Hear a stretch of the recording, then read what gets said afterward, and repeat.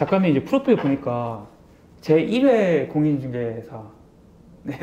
네. 그때 근데 그 1회 때 공인중개사 그 이전에는 그럼 중개사가 없었나요? 이해 공인중개사 하면 이제 이제 공인중개사의 역사죠. 네. 이제는 이제 참 오래된 일인데 네. 일회 공인중개사 따기 전에는 이제 정부에서 그 부동산 그 중개 질서가 문란하고 네. 하도 그 국민들이 피해를 많이 입으니까 음, 정부에서 이제 공인중개사 법을 만들어서 네. 그 제도를 만들어서 네. 이제 실시를 했는데 네. 그 전에는 네. 소개업법에 의한 중개인이라고 그랬죠. 음, 그러다가 이제 그 이후로 이제 공인중개가 생가 생 공인중개사가 생기면서 네. 향후에 이제 그 중개업법도 아예 공인중개사법으로 바뀌는 음, 네 그렇게 해서 이제 그 어떤 부동산 중개 질서를 네. 공인중개사로 하여금 많이 이제 안정시키는 그런 음. 계기가 된 거죠. 어, 그럼 이제 그 질서가 이제 좀 문란했다고 하셨는데 네. 어떤 상태였던 거예요 그 당시에는? 그때는 그 일단은 그 우리 그 일반 서민이나 국민들이 네. 그 법률 주식, 부동산 법률 주식이 상당히 좀 부족했어요. 네. 등기부등본이라든지 네. 이런 거 보는 것도 잘 모르고, 네. 또뭐 일부 그 자격 없는 중개인들도 사실 모르는 사람들이 네. 그냥 나쁘게 표현하면 얼치기로 하면서 네. 네. 그냥 중개 수수료나 받는 네. 그런 게 상당히 이제 비일비재하게 말했는데 네. 이제 공인중개사이 생기면서 공인중개사는 그때도 마찬가지고 지금은 더더욱 그렇지만 상당히 그 많은 공부를 해요 법률 공부를 네, 그렇죠, 그렇죠. 이제 부동산의 중개업법에 관련된 법뿐만이 아니라 네. 공법에서부터 사법까지 음. 이제 사법이라면 이제 대표적인 게 민법 아닙니까? 네. 그래서 폭넓은 그런 법률 지식을 가지고 공부를 해서 자격을 따가지고 네. 이제 중개업을 하기 때문에 네. 그래서 이제 공인중개사들이 에, 그 어떤 질서를 잡는데 음. 상당히 도움이 되고 어. 그런 거죠. 그래서 그때 당시에는 이 아무래도 그 우리 일반 시민들이 네. 중개업소에 그 중개인 그 지금은 이제 중개인 제도가 없었지만 네. 없어졌지만 그쪽에서 피해를 좀 많이 입은 그런 시대였었어요. 음. 근데 지금은 네. 이제 그렇지는 않지만 지금 이제 뭐 중년의 고시라고 해가지고 중개사시 엄청 뜨겁잖아요. 그렇죠. 그 1회 때는 어땠어요? 이래 때도 뭐 이래 때도 뭐 이래는 혹자들은 그래요. 뭐 거저 주셨다 그러는데 거저 주진 않아요. 그게 왜냐면 네. 시험 그 합격률이 있지 네, 그쵸, 않습니까? 그쵸. 예. 많은 응시자가 네. 있지만 실질적으로 많은 응시가 있어, 있어도 그 합격률을 보면 네. 합격률이 그렇게 높지를 않아요. 음. 합격률이 뭐 지금하고 거의 대등한 정도로 어. 나는 그렇게 생각을 했었어요. 네. 그래서 이제 그때는 이제 여- 공부 열심히 한 사람들은 좀 허탈했었고 음. 우리 같은 사람들 소위 네. 그러고 그냥 또 그냥 직장 다니면서 네. 공무원들이 상당히 많았는데 그때 당시에 네. 직장 다니면서 연습 문제만 풀어서 한 사람들도 물론 있고 그래요. 근데 네. 이제 그거는 실무에 적용하면서 금방 나타나죠. 공부를 음. 많이 하고 그쵸, 그쵸. 또 공부를 안 하고 네. 그거는 많이 나타나죠. 음. 뭐 시간이 지나면 조금 이제 무마가 되겠지만 네. 뭐 우리 같은 경우에는 도서관에서 아예 묻혀서 그냥 네. 그 어려울 거라고 생각하고 네. 그때 당시에는 어떤 그, 그 기출 문제라든지 네. 기출 문제가 없지 않습니까 없죠. 네, 이래니까 없죠, 네. 그런 게 없어가지고 네. 그 어렵다고 하는 감정사, 어. 토지 평가사 아. 그때 당시에는 이제 토지 평가사하고 감정사가 이게 네. 분리가 돼 있었어요. 음. 지금은 이제 감정 평가사 네. 해가지고 그냥 그쵸, 뭉쳤는데 네. 즉 그때 그래서 그런 기출 문제 가지고 했기 때문에 네.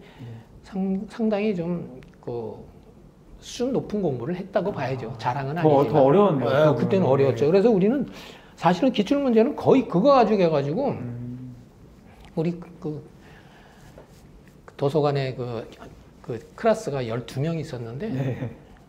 지금 뭐 믿거나 말거나 네. 그 12명 중에서 11명이 다 만점이에요. 아. 근데 한 명이 누구냐? 네.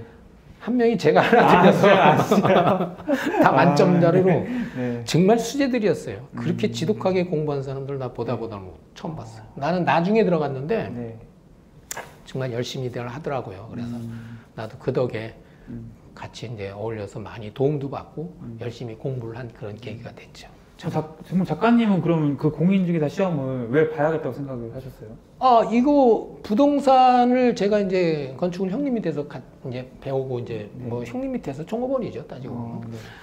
이제 하다가 이제 그 이 부동산을 좀 알죠. 알게 됐는데 음.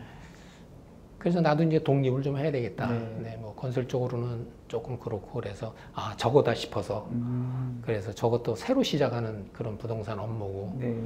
그래서 그냥 곧바로 시작을 했죠. 그럼 이제 합격하자마자 바로 개인 중개사무소 차리신 거예요? 그렇죠. 그때 뭐 영업 엄청 잘 됐어요? 영업 안 됐죠. 근데 그때 그때는 그래도 없었을 거 아니에요 중개소들이 많이. 아니 중개인은 많죠. 음, 아, 골-. 골목, 골목 네. 복덕방 옛날 이제 복, 아, 복덕방이라 네, 이제 네. 중개인 사무소는 많아요. 옛날에 다 복덕방 복덕방 아직도 네. 이제 그런 용어를 쓰는 사람들이 상당히 많지만 음, 그때 당시에 이제 우리 정식 융칙으로는 중개인 사무실 그래서 네. 나는 이제 중개인 사무실 중개 사무실 이렇게 입이 발려서 나오는데 네. 복덕방들이 하여튼 뭐 아, 상당히 많았어요. 아, 잘알 거예요. 네. 구석구석이 네. 많았어요. 네. 근데 이제 그리고 이제 공인중개사 처음에 이제 차리니까 견제가 많이 심했어. 어. 사실 저는 뭐 쟤들 무슨 뭐 경험 눈애들이죠. 뭐 네. 하겠냐 그래갖고 네. 심했지만 네. 그래도 뭐 우리는 정식으로 배웠고 실력이 탄탄하기 때문에 네. 그럼에도 불구하고 무시들은 못했죠. 어. 그 이제 말씀 들어보니까 이제 그 중개 법인까지 나중에 만드시게 됐잖아요. 네네. 그럼 이제 그 영업이 굉장히 잘 됐으니까 예. 되신 거잖아요. 그렇죠. 어떻게 영업을 처음에 막 만들어 나가셨어요? 아, 영업은 이제 그 전형적인 영업 방법이죠. 음. 처음에는 개인 공인중개 사무실 같은 경우에는 네. 이제 그 어떤 그 영업 행위가 사, 실 하기가 좀 만만치가 않아요. 그쵸. 그러니까 이제 일단 사무실을 열어놓으면 네. 그 손님들이 오지 않습니까? 네. 매수인이든 매물이든 네. 아니면 세입자든 네. 저 임대인이든 네. 그러면 그거 가지고 음. 그거 가지고 쌍방을 매치시키는 전형적인 그 중개업 방법. 네. 이제 아날로그 방식이죠. 네. 요즘 같은 경우는 디지털 방식이라 그런 방법은 안 통하죠. 네. SNS라든지 그쵸. 아주 마케팅이 대단하지 않습니까? 네. 근데 그때 당시에 마케팅이 없었어요. 음. 그냥 단순하게 그러가 그렇게 하고. 음. 그리고 이제 그 개발지를 향해서 이렇게 다니면 네. 개발지에는 이제 예를 들어서 택지 개발 예정지라든지 네. 뭐또 대규모 어떤 관공서 이전하는 장소라든지 음. 뭐 예를 들어서 뭐큰뭐 인천 그 당시에 내가 인천공항이 이제 생기기 막 그럴 때 네. 거기에 매물이라든지 네. 매수 그런 쪽에 어떤 그 타겟화된 그런 매 저 매수인이나 매도인이 풍부하기 때문에 그쪽 음. 쪽으로 가면 네. 그러니까 그거는 뭐 마케팅도 필요 없고 네. 열어놓고 하면은 자연적으로 이제 그렇게 거래를 이루게끔 그렇게 한 음. 거죠. 근데 이제 법인을 차려서는 좀 달랐죠. 어. 법인은 적극적인 마케팅을 통해서 네. 이제 일을 했죠. 왜냐하면 법인을 차리면서 내가 1층에 보통 그 중개업소 같은 경우에는 지금 요즘도 이제 뭐 거의 그렇지만 거의 다 1층이에요. 1층 음. 목조인데 네, 그쵸, 그쵸, 예. 2층, 3층에는 그때 당시에는 있을 수가 없었어요. 네. 근데 난 그때 당시에 2층, 3층을 얻었거든요. 어, 네.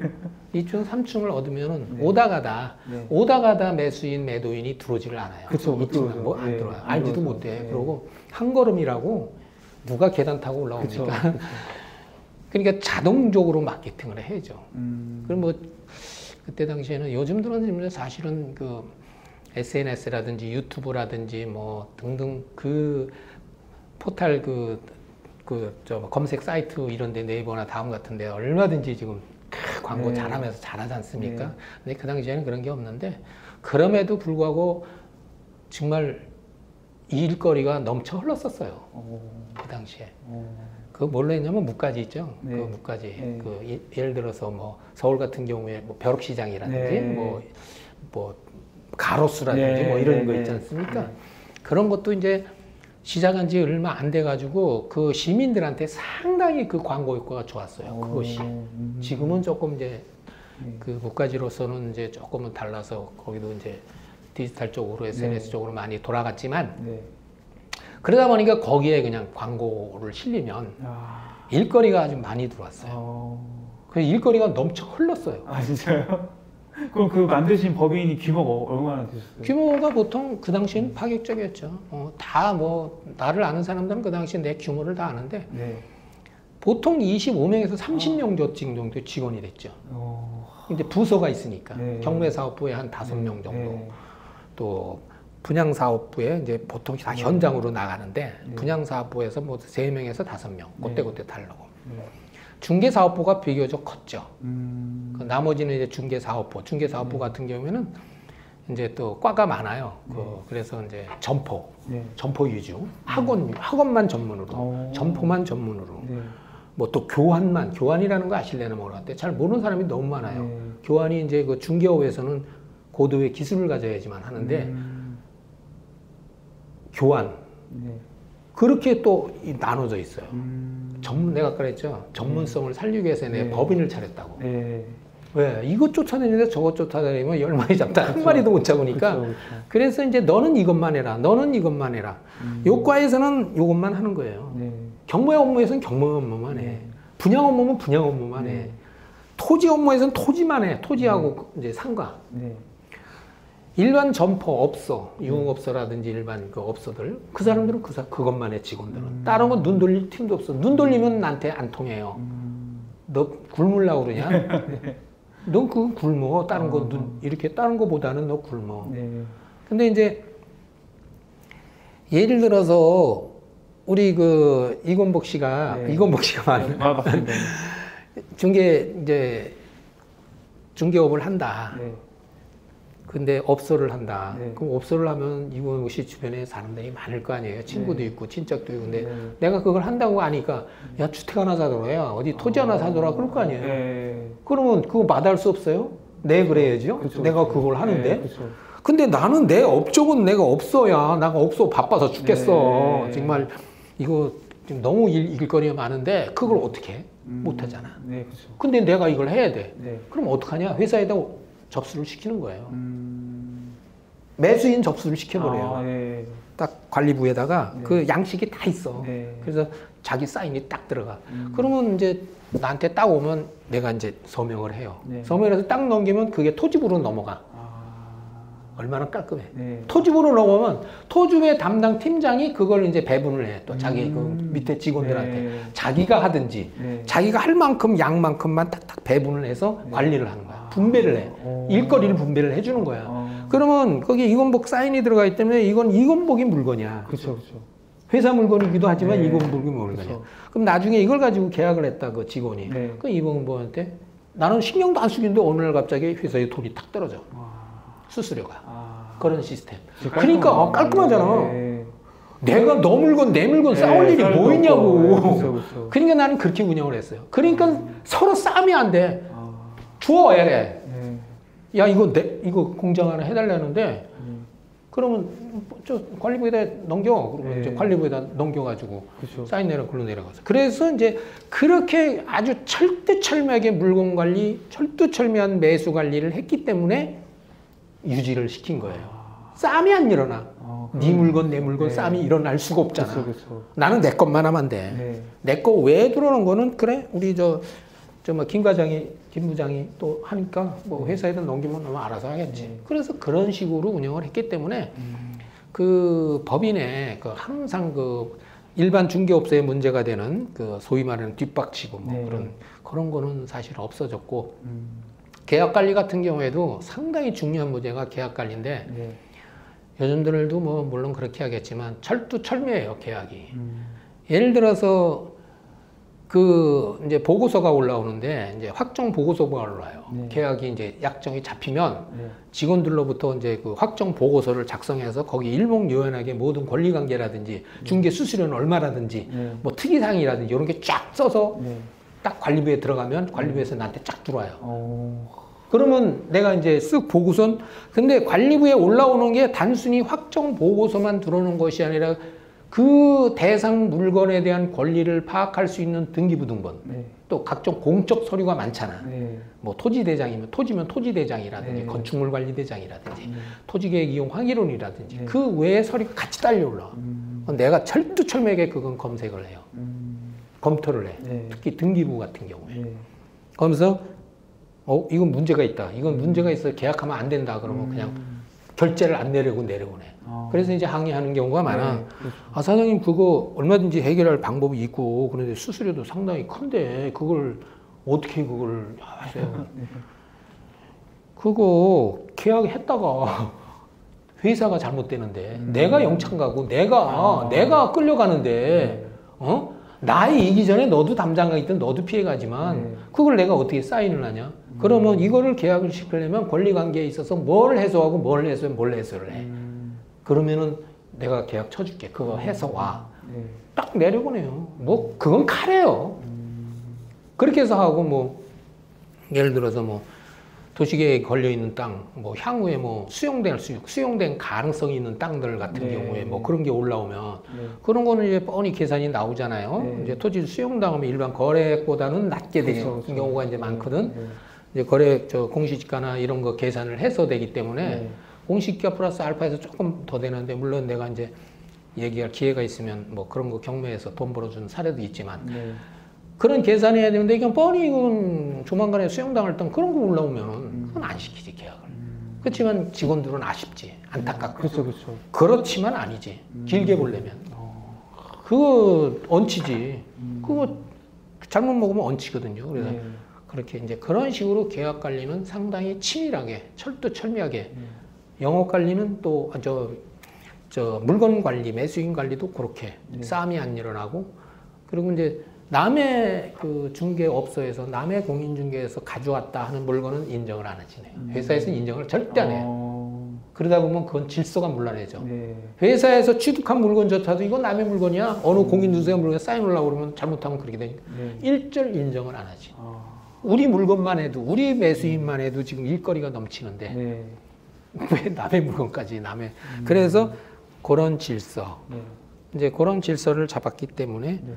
지금도 마찬가지예요. 이제 회사가 운영되려면 사실은 요즘은 이제 뭐 디, 이제 그 컴퓨터로 다 그 해서 더 편하게 아마 관리가 네. 될 거예요. 아마 그래서 네, 후배들도 법인을 하고 있는 그 후배들도 있는데 뭐 그거 남의 법인을 너 그렇게 어떻게 하느냐 영업 관리 계약 관리 어떻게 하느냐 그 물어본다는 자체도 웃기는 거고 다 알아서 할 텐데 그래서 이제 그런 식으로 법인은 그렇게 해서 운영을 했어요. 그래서 법인을 운영하게 된 계기는 아까도 얘기를 했지만 그 한 5년간을 개인 사무실을 운영하다 보니까 네. 이거는 파트별로 분리를 해서 종목이 너무 많으니까 네. 그렇게 해서 하면은 이거는 되겠다. 음. 그래서 내가 뭐 책 속에서도 그런 얘기를 썼나 봐요. 뭐 아파트 전문으로 하는 사람들한테 네. 가서 공장 좀 얻어주셔.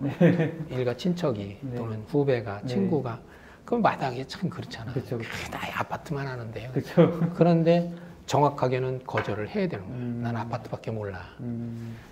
공장하는 사람한테 아파트 구해야 되는 난 몰라. 음. 그래서 뭐 거기서도 이제 그 들어오면은 사실 마다를 못하는 저기들은 그 각그 연결돼 있는 아파트 그 단지 내 공인중개사 같은 데도 넘겨요. 네. 아. 넘기면 그 서로 아까 그랬잖아요. 회원이라든지 네. 친목 친목이 친 신의가 네. 있는 사람들은 딱 보내요. 그렇죠. 보내주고. 음, 우리도 마찬가지고 음. 보낸다. 그거는 서로의 신이 가지고 가는 거고 그렇죠. 그렇죠. 그 상당히 중요하죠. 음. 그래서 그런 일이 상당히 많았어요. 그래서 제가 이제 공인중개사 일회 공인중개사를 할 계기를 이제 뭐 공부하는 과정이라든지 운영하는 또 법인까지 가서 운영하는 과정을 음. 네. 좀 한참 얘기했네요. 네. 아 그러면은 이제 그 뭐 토지 같은 거 이제 또 파신 거예요? 토지 네. 판, 판다고? 네. 그러니까, 그러니까 이제 종합적으로 많이 하신 거잖아요. 뭐 그렇죠. 네. 근데 요즘에 사실 뭐 좀 기획부동산이 네. 기승을 부리잖아요. 네. 그 기획부동산 어떻게 보세요? 기획부동산은 그 당시에도 이제 우리 그 직원이 기획부동산에서 하다가 네. 이제 음, 들어와서 실태를 더 많이 알고 네. 또 지금도 마찬가지지만 그 당시에도 그 사회적으로 문제가 상당히 음. 많이 나, 나와서 네. 정부에서도 상당히 규제를 많이 하고 그랬던 기억이 나는데 네. 기획부동산은 한마디로 사기성이 많아요. 음. 그리고 그 사람들은 그 텔레 텔레마케터들 네, 텔레마케터들이 네. 그 폼이 있어요. 네. 다 그래가지고 뭐 어떤 그 텔레마케터들도 대부분 다 비슷할 거예요. 네. 텔레마케터 폼이 있어서 그거 가지고 무작위로 네. 또는 자기 일가 친척 네. 뭐 해가지고 해야지만 이제 수수료가 떨어지니까 네. 그래서 그런 식으로 하는데 네. 그 텔레마케터들은 진짜 그 물건이 네. 제대로 된 물건인지 네. 정말 향후에 기대 수익을 볼 수 있는 건지 네. 그런 것조차도 모르고 그쵸, 그쵸. 회사에서 내려주는 네. 대로만 하는 거예요. 그리고 돈 벌만 되니까. 네. 그렇지만 그 헤드들은 못 쓸 땅이라는 거 다 알죠. 알고 그 당시에도 뭐 예를 들어서 그 나중에 알고 보니까 군 부대 포격 포격지가 어? 그 개발 계획도가 멋있게 그려져 가지고 네. 그거 쪼개서 팔아 가지고 손해 본 사람들 상당히 부주기수 많죠. 어. 요즘도 많이 그래요. 그래서 내가 뭐 2, 3년 전까지만 해도 네. 뭐 나한테 잘 아는 그 저기가 네. 전화 오고 말해요. 사장님 잘 아시잖아요. 거기 땅 좋은 거 많이 나왔는데 좀 네. 사실래요? 그래서 아, 난, 나한테 전화하냐 그런 거를 어? 욕 맞으려고 음, 그랬는데 네. 기획부동산은 예나 저나 음, 사기성이 많아요. 그 쪼개기 하는 거. 물론 네. 이제 쪼개기 무조건 쪼갠다고 그래가 쪼개기 판, 판매한다 그래서 그 어떤 그 정말 그 전원주택이라든지 네. 저, 정말 순수하게 네. 개발업자들 네. 전원주택이라든지 뭐 이런 어떤 뭐 뭐 질 수 있는 뭐 땅인데 이제 뭐 소, 저 소상공인들을 위한 네. 농공단지나 네. 아니면 이렇게 해서 쪼개기 파는 그런 사람들은 많아요. 네. 근데 그런 거하고는 분리를 해야죠. 음, 그쵸. 그건 정상적으로 개발을 그쵸. 할 수가 있고 네. 건축을 할 수 있는 그런 쪼개기 네. 판매거든요. 네. 근데 그런 데는 기획부동산은 언감생칭 감히 그런 게 근처에도 못 가는 거예요. 다. 음, 못쓸 땅들. 아, 아주 싼 땅들. 음, 그냥 돈도 안 되는 것들 사가지고 뻥튀기 뛰고 넘어가고 또 똥뻥튀기 넘어가고. 그래서 네. 이제 기획부동산은 지금도 뭐 정부에서 상당히 단속을 하였지만 네. 그게 암적인 존재라 뿌리가 음, 없어지지 않는 걸로 알고 있어요. 음, 그것이. 부동산이 돈이 되니까. 아. 그래서 기획부동산은 그 하여간에 일, 일단 뭐 엊그제 성장 일기 보니까 뭐 주식에 대해서 네. 또 한참 얘기했는데 그 이만큼이라도 솔깃할 필요가 없다. 음, 돈 번다는 얘기에 홀깃할 필요 없다. 근데 이제 사기를 당하려면 우습게 사기 아, 당하는데 그쵸. 네. 그 아주 우습지 않게 사기 당하는데 그런 케이스인데 음, 그런 것들을 많이 노려요. 음. 그 사람들이. 참 그러면 안 되는데 부동산 질서를 위해서라도 그 건설도 하셨잖아요. 건설도 했죠. 건설은 이제 중개법인을 하면서 같이 하시는 거예요? 처음에는 이제 개인적으로 하다가 네. 그 아까 내가 잠깐 얘기했는지 모르지만 뜻한 바가 있어서 네. 이제 중개 법인을 이제 넘기고 그리고 종곤을 아, 넘기. 넘기시고. 그렇죠, 좀- 넘기고. 아, 어. 그렇게 하고 이제 종곤을 이제 시작을 했죠. 음. 근데 전공에서는 종곤에서는 성공을 못, 거- 못 거뒀어요. 아, 그래요? 예. 그게 이제 개발이 상당히 그게 모든 그 부동산은 이제 개발 행위로부터 이루어지잖아요. 네. 뭐 토지 개발이 토지를 그쵸. 이제 정지 작업이라든 택지 네. 개발이든 개발 그러고 나와서 이제 상가만 상가 네. 또 아파트면 아파트 네. 주택을 이제 건축을 해가지고 그것이 이제 총괄적으로 이제 분양까지 해서 하는 네. 것이 개발 행위의 완료인데 네. 이제 거기까지가 이게 쉽지가 않아요. 그래서 무너지는 확률이 상당히 많아요. 개발 행위가. 어디서 그래서 그러는데? 이제 뭐 여러 가지 이제 분류가 있죠. 네. 뭐그 수익성 분석을 잘못해서 아, 수익성 분석을 잘못해가지고 토지를 너무 비싸게 사가지고 음. 이거 맞, 맞추고 보려니까 네, 안 이건 맞는 시세하고 안 맞아. 분양이 안 돼. 아, 그럼 분양이 안 되면 어디서부터 됩니까?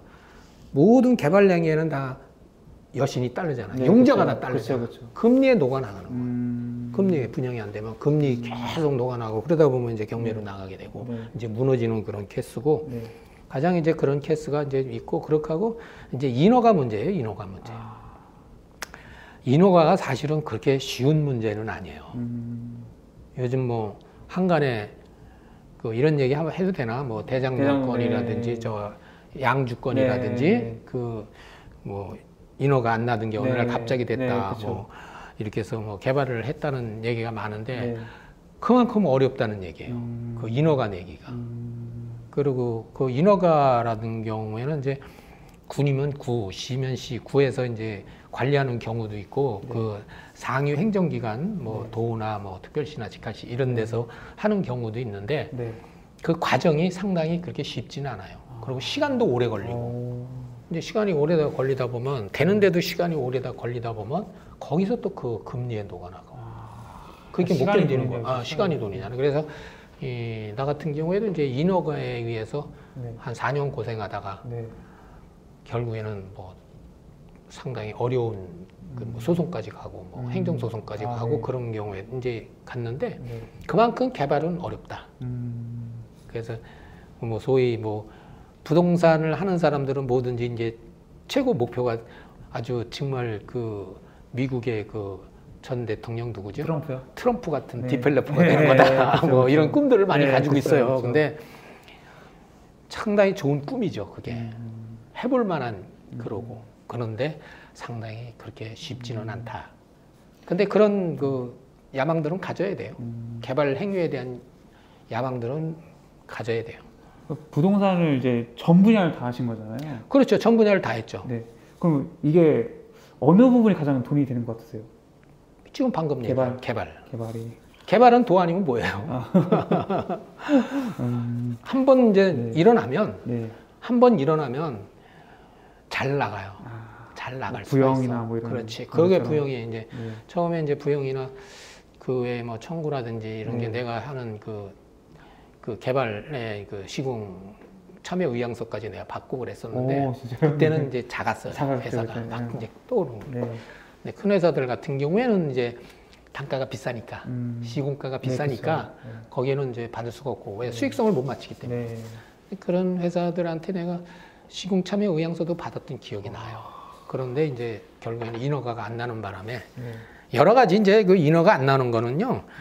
네. 그 법적인 문제도 있지만 그 정치적인 문제도 그쵸. 있고 네. 사회적인 문제도 네. 있고 네. 그래요. 그게. 그래서 그냥 뭐 법적으로 FM적으로 나는 이제 고지식해가지고 법적으로 FM으로 되는데 왜 안 되느냐 네. 뭐 그래가지고 뭐 감사원이라든지 이런데 번화 온갖 거 다 했는데 네. 아무런 국토부나 뭐 아무런 다 이상이 없어요. 오로지 거기서 해줘야 될 문제다. 뭐 이러니까 그게 안 되는 거예요. 그래서 그 일단은 어, 부동산 업에서 가장 하이라이트는 개발 행위 개발. 예? 그런 정도로 아니, 제가 생각할 땐 그래요. 아 진짜 우리나라 부동산의 역사를 진짜 꿰차고 계신 분 같은데. 아 역사까지는 아니고 네. 사, 살아있는 네. 산 증인 같은 느낌이 드는데. 부동산 얘기하면 네. 재밌어요. 네. 아 근데 그러면은 요즘 부동산 엄청 올랐잖아요. 부동산 많이 올랐죠. 어떻게 보세요 지금 시장을? 이 부동산 시장을 어떻게 보느냐? 일단 불패 신화부터 예? 우리나라 부- 불패 신화가 있잖아요. 부동산 불패 신화죠. 그 계속 갈 거라고 생각하세요? 부동산이라는 거는 네. 나는 이런 주장을 해요. 이제 네. 부동산은 대한민국에 전문가가 너무 많아갖고 네. 이제 전문가마다 이제 의견이 다 달라요. 그쵸, 요즘 그쵸. 같은 경우에도 뭐 부동산이 뭐 요즘은 그런 얘기가 조금 덜해요. 네. 폭망주의자들이 있었어요 네. 한때. 지금도 많아요. 에, 언제 때냐면 이 18년도, 17년도부터 특히 18년, 19년도에 정부에서 부동산 규제 정책이 많이 나왔지 않습니까? 네. 그건 전 국민이 다 알아요. 네. 24개 나왔잖아요. 네. 조금 안 되다 보면 네. 또 나오고 안 되면 네, 또 그쵸. 뭐 그럴 때마다 가격이 어땠어요? 올라 규제가 올- 나올 때마다 올라. 정부의 하락 안정을 잡기 위해서 규제를 내놓는데 어이로 어떻게 됐어요? 다 상승했잖아요. 네. 그때 유튜브에 아주 도배가 된 게 뭐예요? 부동산 네, 폭망. 이제 끝났다. 저 이제. 끝났다. 네. 규제가 이렇게 나오니. 네, 네. 나는 뭐라고 했냐면 주변에 내 아는 지인들한테 천부당 만부당 하는 소리 하지도 말라. 음. 부동산에 뭐 붙자도 모르는 사람들이 유튜브에서 네. 어떤 이- 인기 끌어보려고 하는 얘기다. 네. 저 폭망론이 어디 있어? 오르면 더 올랐지. 음. 어떻게 돼요? 계속 오르잖아요. 네. 오를 수밖에 없어요. 오르는 원인은 네. 대부분 다 알아요. 네. 나도 여기도 뭐 그 내용을 잠깐 있지만은 네. 인터뷰 내용에도 잠깐 있지만은 네. 부동산을 그 인위적으로 이렇게 부동산 가격을 시장의 가격을 잡으려면 항상 역효과가 일어나는 거예요. 음. 그거는 여태까지 전례가 그랬어요. 네. 부동산 규제 나온다고 그래서 떨어지는 예가 없어요. 음. LF 시장은 역반응을 일으켜요. 네. 그게 시장 자유 경제예요. 음. 시장은 철두철미하게 수요와 공급에 의해서 이루어져서 그 가격이 형성되고 거래가 돼야지 네. 거기에 어떤 주- 누가 통제를 한다? 네. 규제가 팍팍 들어간다? 네. 그럼 시장은 항상 역반응을 이렇게 돼 있는 게 부동산 시장이에요. 음. 이번에 18년도, 19년도 지금까지도 그런 현상이 지금까지도 그쵸. 일어나는 거예요. 네. 뭐 이런 얘기 하면 되겠지만 정부에서는 지금 뭐 각종 금리라든지 네. 규제를 더 강화한다든지 그쵸. 이렇게 해가지고 뭐 하락, 네. 안정을 얘기하고 네. 있지만 그건 잘못된 거죠. 음. 부동산이 떨어지면 부동산 올리는 것보다 더 경제가 어렵고 사회 문제 되는 거예요. 네, 그렇죠, 그렇죠. 부동산이 조금 오르면 올랐지 떨어지면은 네. 그만큼 사회는 더 어려워요. 그렇죠. 경제가 어렵. 왜 어렵죠? 우선은 유동성이 없어져 버려요. 네. 사회에 돈이 돌아야 되는데 돈이 돌아야 경제가 살아나는데 가장 큰 포지션인 부동산에서 돈이 안 돌면은 건설 분야에서 돈이 안 들면 사회 네. 혈관이 막혀버리기 때문에 경제가 그만큼 더 안 좋다는 얘기죠. 네. 그래서 부동산 하락이라든지 네. 또 폭망이라든지 네. 이런 얘기하는 거는 그렇게 좋지를 않아요. 그리고 지금 현재 부동산이 오를 거냐 안 오를 거냐 네. 이건 참 의문이에요. 음. 그건 참 물어보는 사람들 참 네. 답답해 나도. 오를지 안 오를지는 네. 그건 뭐라고 장담을 못하는 게 부동산이에요. 음, 그러나 국지적으로 지역적으로는 오르는 데도 있고 떨어지는 데도 있어요. 전체적으로 네. 이제 근데 총괄적으로 보면은 네.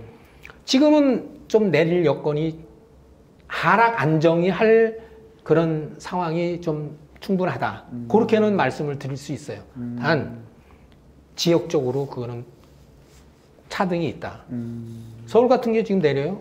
뭐 내리고 있다 그러지만 특히 강남이나 강남이나 뭐 특히 강남 같은 경우는 전국 부동산의 바로미터예요. 네. 거기 오르면 다 올라요. 음, 거기 떨어지면 살짝 다 오르고 어디들 불문하고 네. 강남이 끄떡 없어요. 안 오르잖아요. 오히려 오르면 올랐지 안 올라요. 그렇죠, 그렇죠. 그렇게 왜 규제를 때리고 금리를 낮추는데 거기는 왜 안 떨어져요? 안 떨어져요. 네. 왜? 수요가 많기 때문에. 그럼 거기 수요가 많으면 거기에다 공급해 주면 되잖아. 근데 네. 그건 공급을 안 해주잖아. 그게. 그렇죠. 그렇죠. 그게 문제란 얘기예요. 그래서 지금은 굳이 부동산 경기가 어떻다 그러면은 부동산 경기보다는 주택 시장, 네. 특히 아파트 시장이 어떠냐 물어보는 게 차라리 나아요. 그 부동 이제 그 토지라든지 뭐 그 그런 쪽은 네. 그 개발 계획이 있는 쪽에 네. 그런 쪽에는 이제 이제 오를 항상 그는 어떤 규제라든지 네. 어떤 부동산 경기하고 상관없이 어느 지역에 개발 계획이 있다, 네. 개발 좀 했다 그러면 자연히 오르게 돼 있는 거예요. 그렇죠. 그거는 네, 그렇죠. 왜 사- 개발이 있으니까 살리는 사람들이 네. 많잖아요. 그렇죠. 그럼 올라가는 게 그게 시장 경제예요. 음, 그게 시장 경제이기 때문에 거기 뭐 그런다고 그래가지고 이제 토지라든지 그런 것도 지역적으로 적이지만 아파트 시장 같은 경우에는 철두철미하게 나는 양극화 될 것이다. 어. 더 양극화가 이루어진다. 음. 지금 이런 시장에서는 네. 지금 서울이라든지 인천 같은 데도 잘 안 떨어져요. 특히 송도 신도시 같은데 네. 국제도시 같은데 안 네. 떨어져요. 웬만해서 많이 올랐는데도 안 떨어져요. 네. 수요도 있으면 있지만은 지금 관망세예요. 네. 그래서 지금 뭐 금리가 지금 뭐 어, 기준금리가 1.5%고 여신금리가 뭐 5%까지 이제는 네, 저 그렇죠. 저그 뭡니까 저 주담 주담대 네. 주담대가 이제 뭐 5%까지 뭐 이렇게 뭐 이제 된다 막 이럴 정도로 상당히 이제 금리가 높아지긴 했어도 네. 일부는 이제 그런 것 때문에 이제 그 여러 가지로 가격이 하락하거나 안정이 되겠지만 음. 궁극적으로는 그게 오래 가지는 않는다. 난 이렇게 보는 거예요. 이제 부동산 전문가마다 물론 다 음. 아, 달라요. 다르죠, 다르죠. 네, 그래서 그 보는 관점이라든지 네. 이제 여러 가지가 다른데 궁극적으로 볼 때는 네. 지금 그 금리 문제, 특히 금리 문제라든지 네. 이제 또 정부에서 이제 공급을 많이 하겠다. 네. 이제 뭐 이런 그 공급 위주로 나가겠다. 뭐 이런 식으로 많이 하다 보니까 네. 이제 하락 안정세가 조금은 유지되지 않겠느냐. 음. 그 전체적으로 그냥 네. 통틀어서 볼 때. 네. 뭐 지역적으로는 물론 이제 강남이라든지 인천, 송도, 신도시라든지 인천의 뭐 청라라든지 아니면 여기 뭐 서울의 주변 도시, 신도시라든지 이런 쪽으로는 뭐 끄떡 없는 데도 물론 있지만 네. 뭐 그렇지 않은 데도 있고 그러기 때문에 그걸 뭐, 뭐 저울지다 하듯이 뭐 흑백 논리로 이거 네. 내릴 것이다, 오를 네. 것이다 이렇게 단정 짓기는 음. 부동산 시장, 특히 아파트 시장은 음. 변수가 많다. 음. 그렇게 보시면 돼요. 그건 제 생각입니다. 네, 네, 네. 그리고 그 오랜 시간 그 부동산 시장 가까이 있으시면서 그 역사적으로 우리나라도 경제 위기 있- 있었고 네. 부동산 시장이 그래도 폭락하게 가깝게 떨어진 적도 뭐 있었잖아요. 뭐 IMF 뭐 이럴 때. 그렇죠. IMF 때 많이 떨어졌죠. IMF 때는 이제 뭐 완전히 나라가 망했지. 네. 그건 나라가 망했지 않습니까? 네. IMF면은 이제 네. 외국에서 구제금융을 받을 정도면 네, 그렇죠. 그거 뭐 부동산이라고 견디지는 못하죠. 네. 뭐 대출 금리가 그, 그 그때 뭐 20, 21%, 23%. 네. 막 그렇게 올라왔잖아요. 그 네. 주담대 그 네. 금리가 네. 그 당시에 내 기억으로는 그랬어요. 내가 그때 중개회사 할 때인데 네. 그거는 뭐 그때 당시에는 말할 것도 없죠. 근데 이제 그 예를 들어서 그 이후에 뭐가 있었습니까? 2008 2008년대 네. 서브 프라임 모기지라고 그래가지고 이제 그 그 전 세계 금융 위기가 왔었죠. 네. 근데 어떻게 보면 그때 당시에 다른 나라의 피해에 비해서 우리나라는 그렇게 피해를 그쵸. 많이 안 입은 네, 편이에요. 그 많은 많은 통계도 나오고 그랬는데 네. 그게 이제 그 정권에서 그 부동산 정책을 어떻게 하느냐에 따라서 그런 위기가 왔을 때 음. 그게 이제 방어 능력이라든지 이제 그런 측면이 있었는데 그 당시에는 그 지금 기억해 보면 그 당시에는 이명박 정권 시절에 이제 그 저기를 만- 만졌거든요. 프라임 그 저 리먼 브라더스라고 네. 그러죠. 소- 솔- 그 회사가 네. 부도난 그 회사 큰 맘모스 같은 회사가 네. 그때 그런데 그 전에 그 경기가 전 정권에서 좀 경기가 좀 좋았었어요. 음. 좋았어 갖고 지금도 요즘도 이제 그게 상당히 강화되고 있는 그 실정인데 네. 분양받는 사람들한테는 조금 2030이라든지 집 없는 사람들한테 상당히 좀 부담스러운 그런 그 금융 규제 있지 않습니까? 네. LTV라든지 네. DTI, 네. 요즘 DSR 특히 네. 더 강화시킨다 그러는데 네. 요거가 좀 그때 당시에 조금 잘 운영을 했었어요. 음. 정부에서. 어. 그 당시 정부에서. 아. 엄격히 말하면 노무현 정권에서. 네, 그렇죠, 그렇죠. 그래서 그것 때문에 좀 충격이 덜했고. 충격이 덜한 거예요. 아. 왜? DTI라든 LTV나 DTI, DSL 같은 경우는 네. 금저 주담대 규제거든요. 네. 뭐 프로테지를 주, 게 그쵸. 주는 거니까 네, 그쵸. 그 규제에 의해서 네. 그러다 보니까 이 부담이 덜한 거예요. 음. 금리가 좀 올랐어도. 네. 그래서 우리나라 같은 경우에는 이제 그 금융 위기를 맞았어도 그 당시에는 네. 이제 IMF 그 시절에는 말고 네. 어, 고그 서브프라임 모기지 사태 미국발로 해서 금융 위기 사태에서는 네. 우리나라는 비교적 방어를 잘한 편이다. 음. 이제 그렇게 나는 이제 음. 평가를 하고 그 당시에 기억이 그렇게 되네요. 그 당시에 내가 실무에 있었으니까 이제 그런 걸 많이 알죠. 98년 때는 그럼 부동산 얼마나 떨어졌어요? 체감적으로. 그때는 네. 역대 부동산 경매 건수가 네. 그때 최고였어요. 어. 지금 내가 통계를 좀 정확히 기억을 하는데 아마 보통 이- 요즘 이- 지금 최근에는 네. 1년에 네. 전국 평균 한, 시- 한 달에 한 만 건 이상, 네. 한 12만 건에서 14만 건 정도 나와요. 네. 2000년도 2000년도에 아마 한 14만 몇 건 나왔을 거예요. 전국 평균. 그것도 많이 나오는 거죠. 음, 네. 올해는 뭐 작년에 한 12만 건 나왔나? 음. 경매 총 전국 총 통틀어서 네. 그 종목 불문하고. 네. 근데 그 당시에는 내가 알기로는 아니 한 20몇만 건 나온 걸로 알고 있어요. 두 배가 나오네. 어. 그 하여튼 그래서 그래서 법이 바뀌었어요. 어떻게요? 그래서 법이 바뀐 계기가 된 네. 거예요. 역사 얘기하네 경매 역사. 네. 그때는 이제 그 지금은 이제 경매가 민사 집행법으로 돼 있는데 네. 그때 당시에는 민사소송법에 경매 규정이 있었어. 같이 들어가 있었어. 아. 그렇게 들어가 있는데 경매 법 경매에 경매 저 법원에 네. 그 IMF로 인해서 부동산 물건이 쏟아져 경매로 쏟아져 나오는데 네. 이게 법이 그 경매 문턱이 너무 높은 거야. 음. 여러 가지 음. 그법 규제가 조항이 네.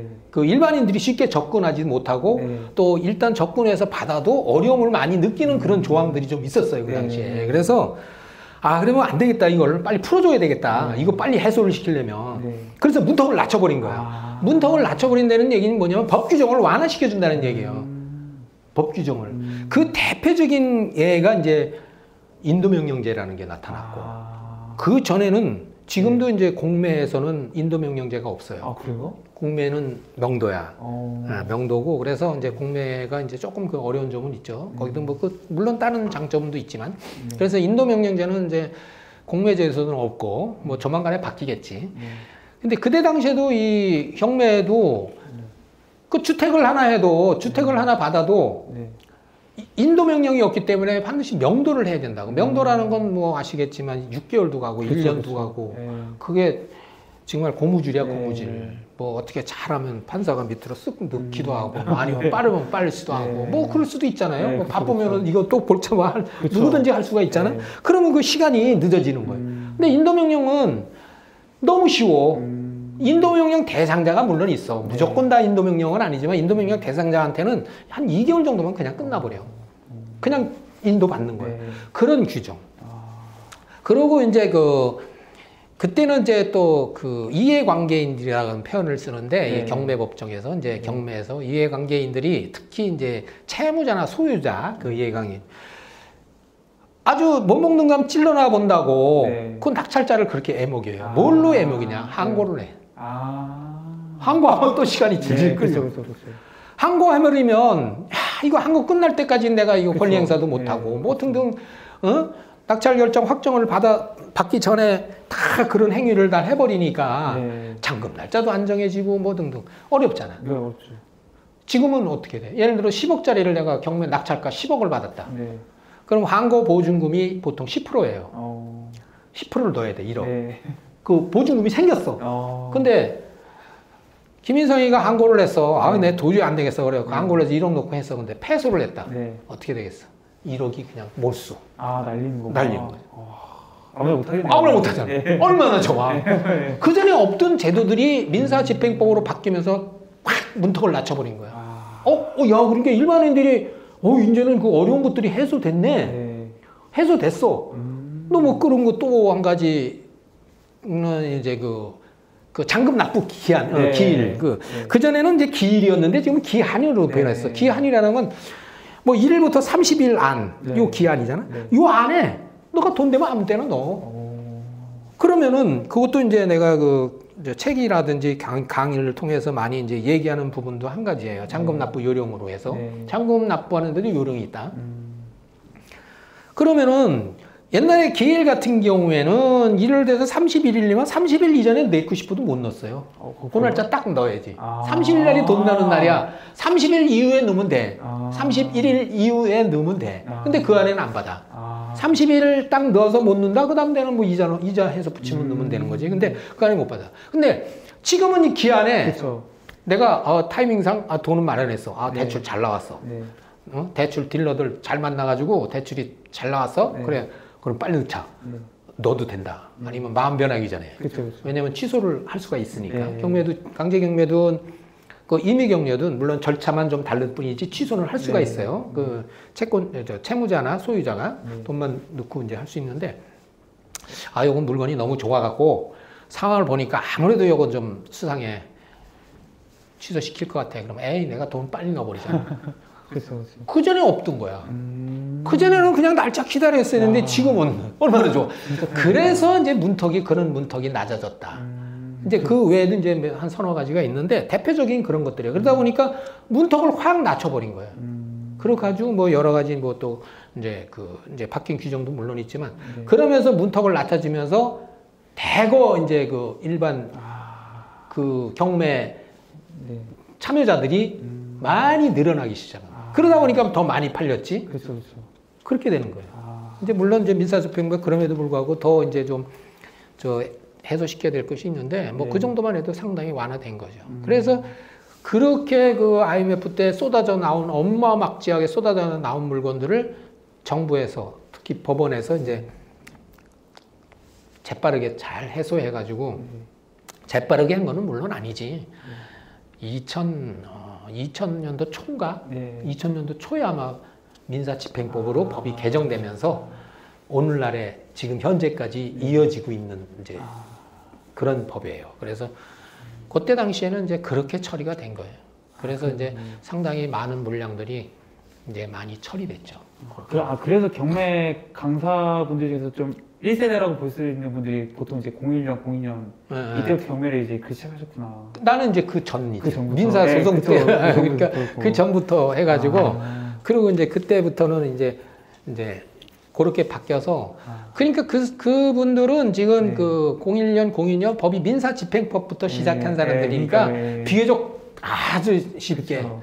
이건 사실은 우스개 얘기하지만 네. 전에 그 민사적법원에 해가지고는 얼마나 아주 그 명도 하러 가면은 네. 얼마나 힘들었는데요. 음. 심한 얘기까지 많이 들었어요. 어, 심한 얘기까지 많이 들고 네. 아주 겁나는 얘기까지 막 들고 어, 막 그런 얘기까지 있는데 또 한 번 해봐 막 이러지. 음. 그뭐 시간이 오래 그쵸. 걸리고 그쵸. 그러니까 참 그게 어려움을 많이 겪었는데 네. 그래서 민사 집행법이 그래서 그 경매 하기를 상당히 편하고 네. 좋게 해놨어요. 어, 그러니까 우리 관심 있는 여러분들은 네. 그 좋은 법 가지고 네. 열심히 해서 네. 돈 벌면 되죠. 그럼 이제 본격적인 경매 얘기를 좀 해보려고 예, 하는데 뭐 지금 그렇게 이제 수십 년 동안 뭐 좀 기억나는 좀 경매 물건 있으세요? 낙찰 받은 것 중에서? 글쎄 그 뭐 낙찰 받은 물건이 워낙 많았어 예, 갖고 많았어요, 예. 뭐 그렇잖아요. 오랜 이건 보니까 좀뭐 토지, 거. 예. 공장, 뭐 주택, 아파트, 뭐 농지 뭐 많은데 네. 그 당시에 그 음, 걸려 있던 게 이제 그 소위 말하는 특수 물건 제가 네. 이제 3권에서 그 특수 물건 편에서 이제 이제 특수 물건 입찰하고 네. 낙찰 받고 해결하고 그런 거를 이제 거기서 다 이제 기술을 해서 이제 조만간에 이제 출간이 될 네, 텐데 네. 에, 법정지상권이라는 게 있어요. 네. 그 우리 흔히 얘기했어요. 법정지상권이 관련 아마 정미소 내가 입찰 받았던 기억이 나네요. 네. 정미소인데 정미소가 이제 그 경매가 나왔는데 거기에 이제 법정지상권이 걸려 있었어요. 네. 그래서 이제 법정지상권이 걸려 있는 그 거기 이제 주택이 하나 있었는데 네. 그게 이제 법정지상권 여지 있음, 뭐 음. 성립 여지 있음, 여지 있음 네. 이렇게 표기가 돼요. 네. 그러다 보니까 그때 당시만 해도 이 법률 지식들이 그렇게 일반인들한테 지금처럼 유튜브라든지 네. SNS라든지 관련 서적이라는 게 많지 않아 네. 가지고 그런 걸 잘 몰랐어요. 사람들이 검 그냥 일단 아 이거는 하나면 안 돼. 네, 이런 안 거잖아. 된다. 어. 근데 우리 같은 전문가한테 그게 또 안 통하죠. 그쵸. 그래서 면밀히 이제 분석을 해 보니까 법정 지상권이 이 사람은 해당이 안 돼. 아. 근데 뭐 거기 사는 사람도 뭐 빵빵해요. 뭐 어디서 들었는지 뭐 법정 지상권이 있기 때문에 뭐 내가 네. 이거 뭐 근데 이제 조용히 이제 거기 가서 현장 답사 다 하고 나서 이제 입찰을 받았는데 단독 입찰을 받았죠. 어. 있어야게. 이제 누가 안 들어올 거는 뻔히 알았죠. 네. 근데 그 단독 입찰을 받고 결국에는 이제 법리적으로 다 해결을 한 거죠. 음. 내용 증명을 통해서 네. 법정 지상권 해당이 안 되고 음. 그렇게 고집 피지 말고 네. 해당이 안 되고 이렇게 네. 나가면 에이 네. 그쪽엔 쫓겨나가고 네. 더 오래 손해가 나니 음. 네, 적정한 금액 해결해 주겠다. 네. 그래서 그 당시에 금액을 그 상당히 파격적으로 해줬어요. 워낙 싸게 사서 그건 어. 나가는 사람을 어. 그 당시의 금액으로. 어. 그래서 이제 그런 게 하나 이제 또 기억나고 네. 그렇게 하고 이제 그 명도에 대한 문제가 이제 상당히 이제 어려움들을 많이 겪는데 네. 명도란 말이 이제 지금은 잘 안 쓰죠. 인도라는 말을 쓰죠. 네. 인도나 명도나 같은 말인데 법이 바뀌면서 명도에서 인도라는 이제 용어로 바뀌었는데 네. 이제 인도도 사실은 어려울 게 없는 게 하다 보면 그냥 빈 집도 있어요. 음, 그렇죠, 그렇죠. 어. 네, 맞아요. 근데 왜 어려움을 느껴요? 왜 미리 인도, 명도 그거 참 어렵다는데 왜 이런 생각을 하냐 이거야. 음, 이- 아파트를 갔더니 가, 가보니까 비어 있어. 네, 그렇죠. 그러면 관리소장 이제 한테 가서 네. 함부로 못 들어가요 비어 있대. 네, 남의 집은 못 맞아요. 들어가잖아요. 네. 열려 있어. 그래도 못 들어가요. 아, 그래요? 남의 집을. 어, 일단은 아무래도 그거는 누군가가 증인이 있어야 네. 되는 거예요. 그래서 관리소장 불러 가지고 아 사실 내가 이렇게 이렇게 했는데 뭐 안면은 있지 이미 그 경위 받기 전에 네. 답사를 통해서 관리소장한테 인사도 드리고 뭐 네. 여러 가지 물어본 케이스이기 때문에 이제 대충은 알지. 네. 그랬더니 이사 갔다고 그러는 거예요. 그것도 이사 갔는데도 깨끗하게 청소해놓고. 어, 그참 깨끗한 사람들이에요. 음, 이제 사업하다 망했는지 어땠는지 그 네. 이유는 모르겠지만 그래서 그런 케이스도 많아요. 음, 그렇지만 또 시, 아까도 얘기했는데 심하게 아주 심한 욕 받고 네. 뭐 그런 경우. 음, 근데 그거는 경매하는 사람들한테는 사실은 감수해야 될 부분들이에요. 음. 그런 정도는 음. 예나 지, 지금이나. 아, 예. 그리고 지금 같은 경우는 좀 덜하지만 간간히 나도 지나다면서 그 옛날 기억 떠돌리고 떠올리고 그러는데 그 빌딩을 이제 그 현장 답사 갔는데 그게 이제 유치권이 걸려 있는 물건이에요. 네. 근데 요즘은 그게 덜 알지만 옛날에는 유치권을 사고 팔았어요. 아, 진짜요? 그럼요. 어, 근데 유치권을 누가 사느냐? 네. 힘 잘 쓰는 사람들 뭐라 그러죠? 뭐, 저- 뭐, 저- 네.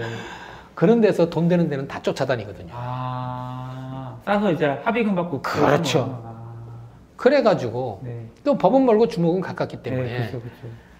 그 사람들한테 혼난 기억. 음, 거기 가- 섣불리 갔다가 이제 답사 좀 갔다가 이제 네. 괜히 좀 아는 척하고 물 물고 물어보고 막 네. 그러다가 가지고 그냥 아 되게 아뭐 뭐 폭력 행위는 당하지는 않았지만 아. 그 근처까지 갈 정도로 아주 혼난 그런 기억. 음, 이제 상당히 여러 가지 많죠. 음. 뭐 경매 그 입찰을 하러 가서의 그 네. 뭐 문제라든지 뭐 여러 가지 상당히 많아요. 너무 많으니까 그 정도. 네.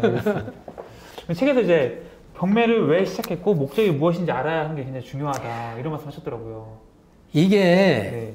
이게 경매에서 네. 상당히 중요해요. 어, 이 사람들이 그 뭐, 비단 이게 경매뿐만이 아니라 네.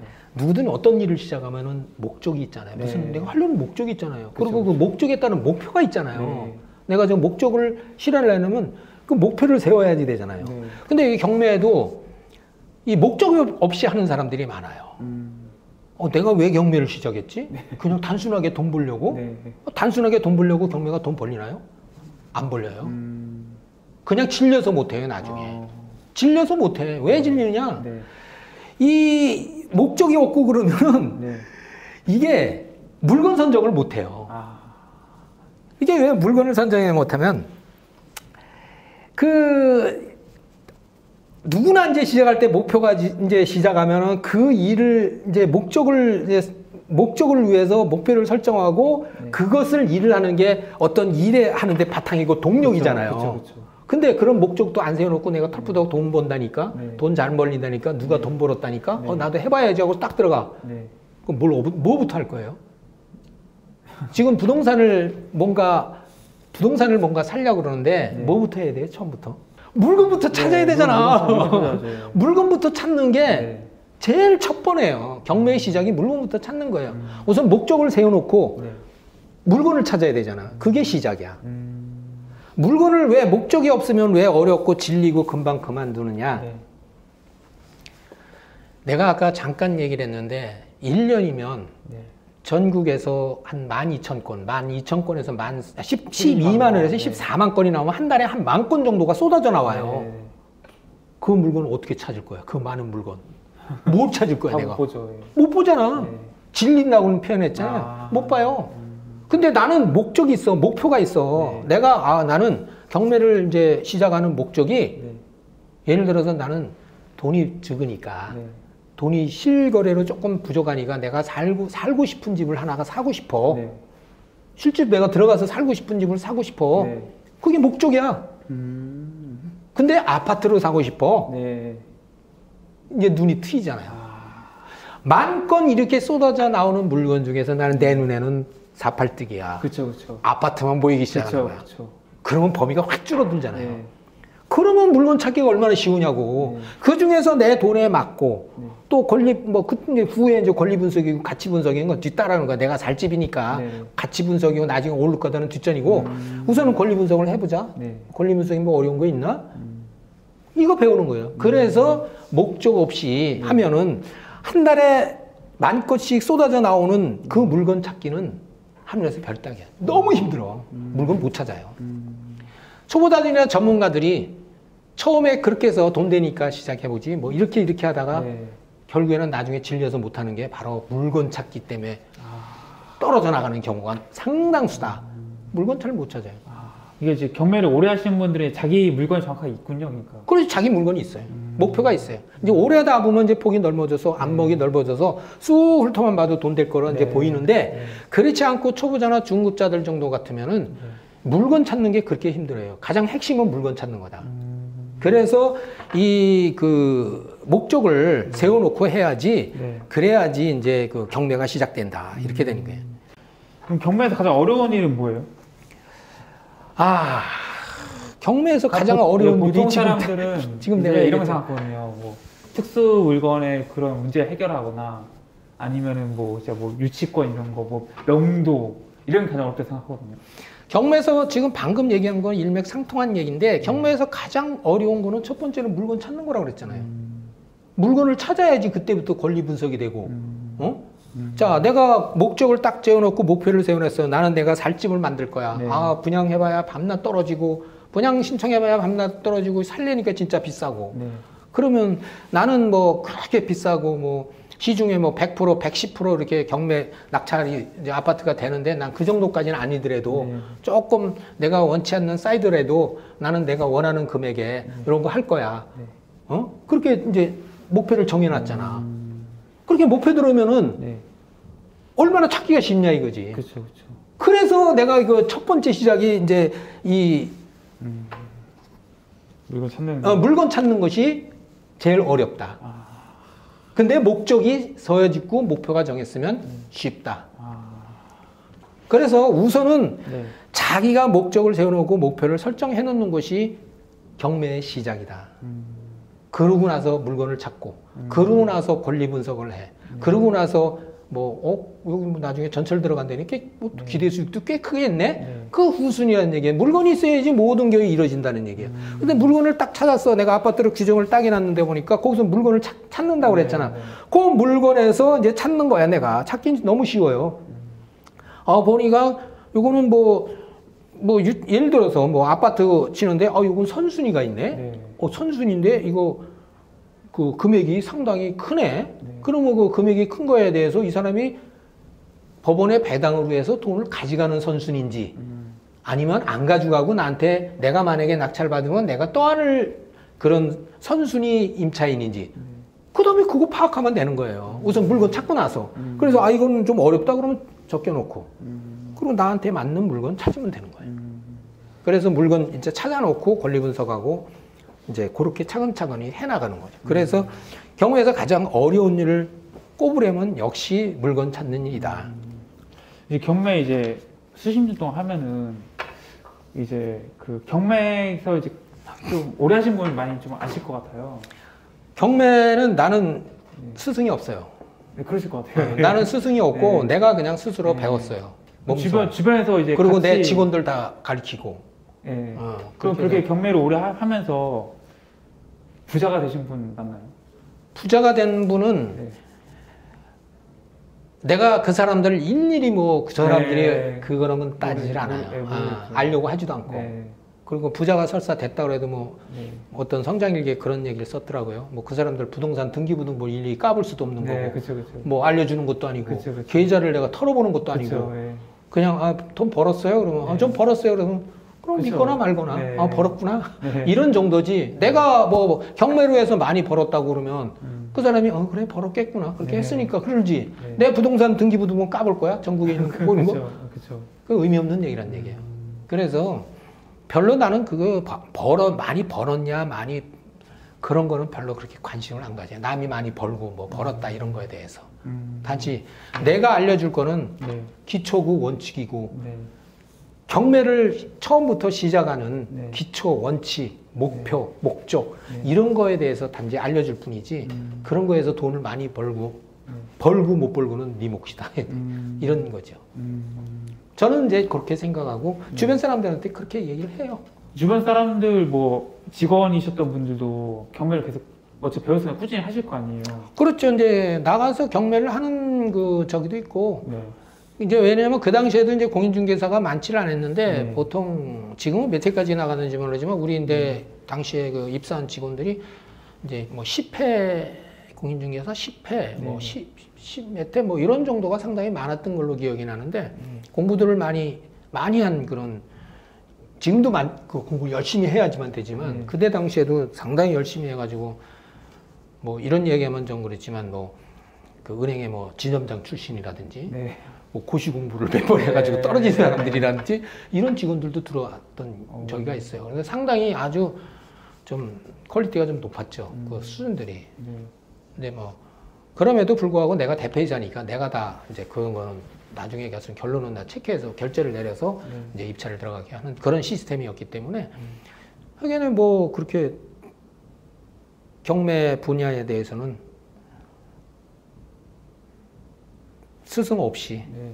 매일 그 매일 그 책상 위에 그 경매 책, 네. 그, 그 당시에 민사소송법에 네. 이제 경매 관련 구정들은 항상 놓고 항상 그냥 달달 내우시듯이 했으니까 음. 혹시라도 뭐 하자가 있나 없나 해가지고 네. 사실은 그, 그 공인중개사들이기 때문에 그 법조항 공부하고 그러는 거는 익숙한 사람들이에요, 전부 다. 음. 너무 많이 그런 걸 해서 여러 가지 네. 법을. 네. 그래서 이제 그렇게 해서 이제 경매를 시작해서 나는 이제 스승이 사실은 없어요. 음. 요즘에. 네, 요즘 부동산 열풍 불면서 경매로 좀 돈을 벌어야겠다라는 분이 많이 생겼고 그래서 경매 열심히 하시는 분 많잖아요. 경매로 그렇게 뭐 부자가 되는 거 가능하다고 생각하시는지 궁금하고 그렇게 하는 게 부동산 투자에서 좀 바람직한 방법이 생각하세요? 예, 뭐 여기서도 이제 나올는지 모르겠지만 네. 이제 문의 질문이 올는지 모르지만 이제 부동산 그 재, 예, 저, 저 돈을 그 저기 투자하는 거에 대해서는 이제 재테크를 하는 데에서는 방법이 이제 보통 우리가 이제 학교에서는 이제 뭐 한 세 가지 정도로 얘기를 하죠. 재테크 방법이 부동산, 주식. 요즘은 이제 핫한 코인. 네. 코인은 이제 뭐 책이나 이런 데는 나오진 않지만 네.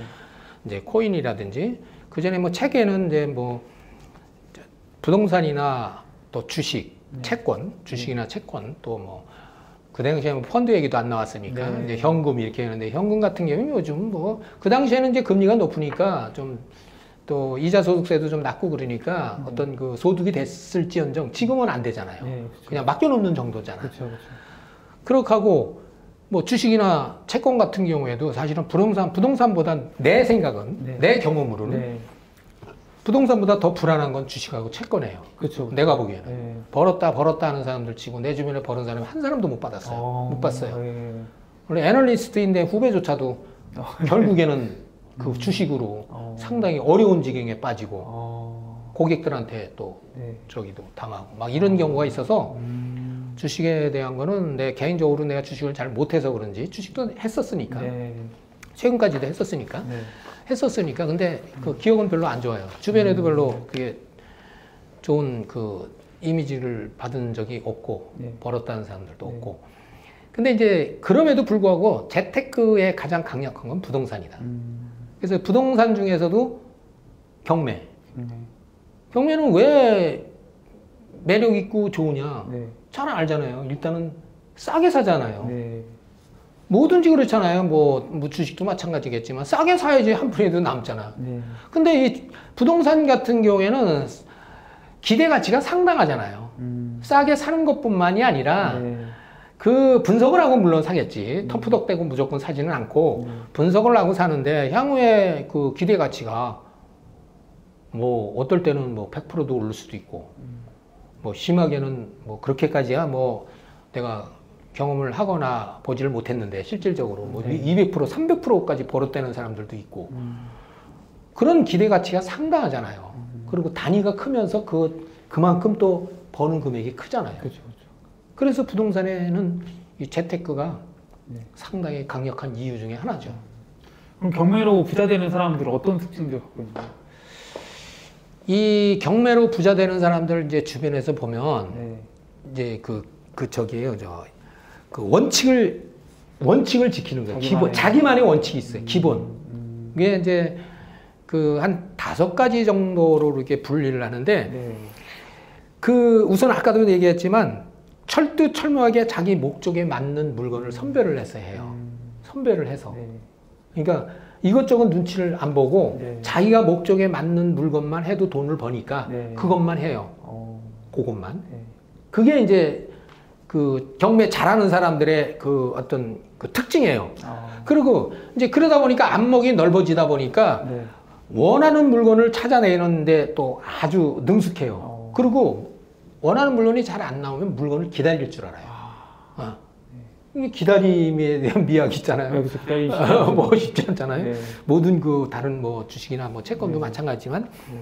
그리고 그 사람들은 그 무리한 고가 낙찰을 안 해요. 아, 아무리 저게 좋은 물건이고 네. 뭐 어떻게 돼도 무리한 고가 낙찰을 안 해요. 음, 이제 그런 그 자기들 나름대로의 원칙과 그런 것이 분명히 있어요. 음. 그래서 이제 그런 거하고 그러니까 그리고 다른 사람들이 그렇게 이제 본인이 이제 그렇게 익숙해져 있는 게 다른 사람들이 뭐에 투자하는 거 또 얼마를 벌은 거 뭐 전혀 신경 쓰지 않아요. 겪는지를 안 한다는 얘기예요. 음, 겪는지를 안 하고 네. 자기 스타일, 자기 원칙대로 가는 거예요. 자기 목적대로. 음, 이제 그런 사람들이 소위 말하는 경매의 고수라고 보는 사람들이에요. 그래서 하기 힘들기요. 부안해동 하는 경우가 상당히 많- 많잖아요. 많죠. 그리고 남의 떡이 더 커 보인다고 그쵸, 그래서 예. 야 저거 이거는 이거 하나 보고 저거 이건 안 된다는 얘기죠. 그쵸, 그쵸. 철두철미하게 그걸 지켜야 되는 거예요. 음, 그래서 자기 목적과 자기가 하는 일만 지켜 나가면 네. 그것이 이제 돈 버는 길이고 부자 되는 길이라 네. 이제 고수들은 이제 그런 그 쪽에 철두철미하죠. 자기 관리가. 음, 음, 예, 그리고 이제 아까도 얘기했지만 본인만의 원칙과 기본이 있고 자기만의 철학을 가지고 있어요. 분명한 그 경매에 대한 철학. 예, 그래서 그렇게 하고 자금 관리를 잘해요.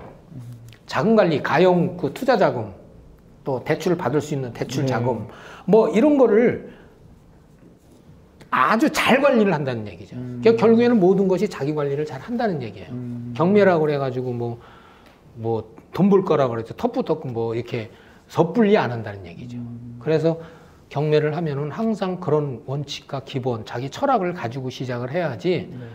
아마 뭐 시중에 뭐 돈 많이 벌었다는 사람들 뭐 그 전에도 그랬어요. 그 전에도 오래전에도 그 책을 통해서 나는 뭐 주부였는데 뭐 얼마를 네, 벌었다. 네. 뭐 이- 나도 이렇게 하는데 이렇게 못 버느냐 네. 뭐 등등 그렇게 말했는데 진짜 벌었는지 안 벌었는지 내가 뭐 알 것도 없고 네. 확인도 안 해요. 네. 확인할 수도 없지만 네.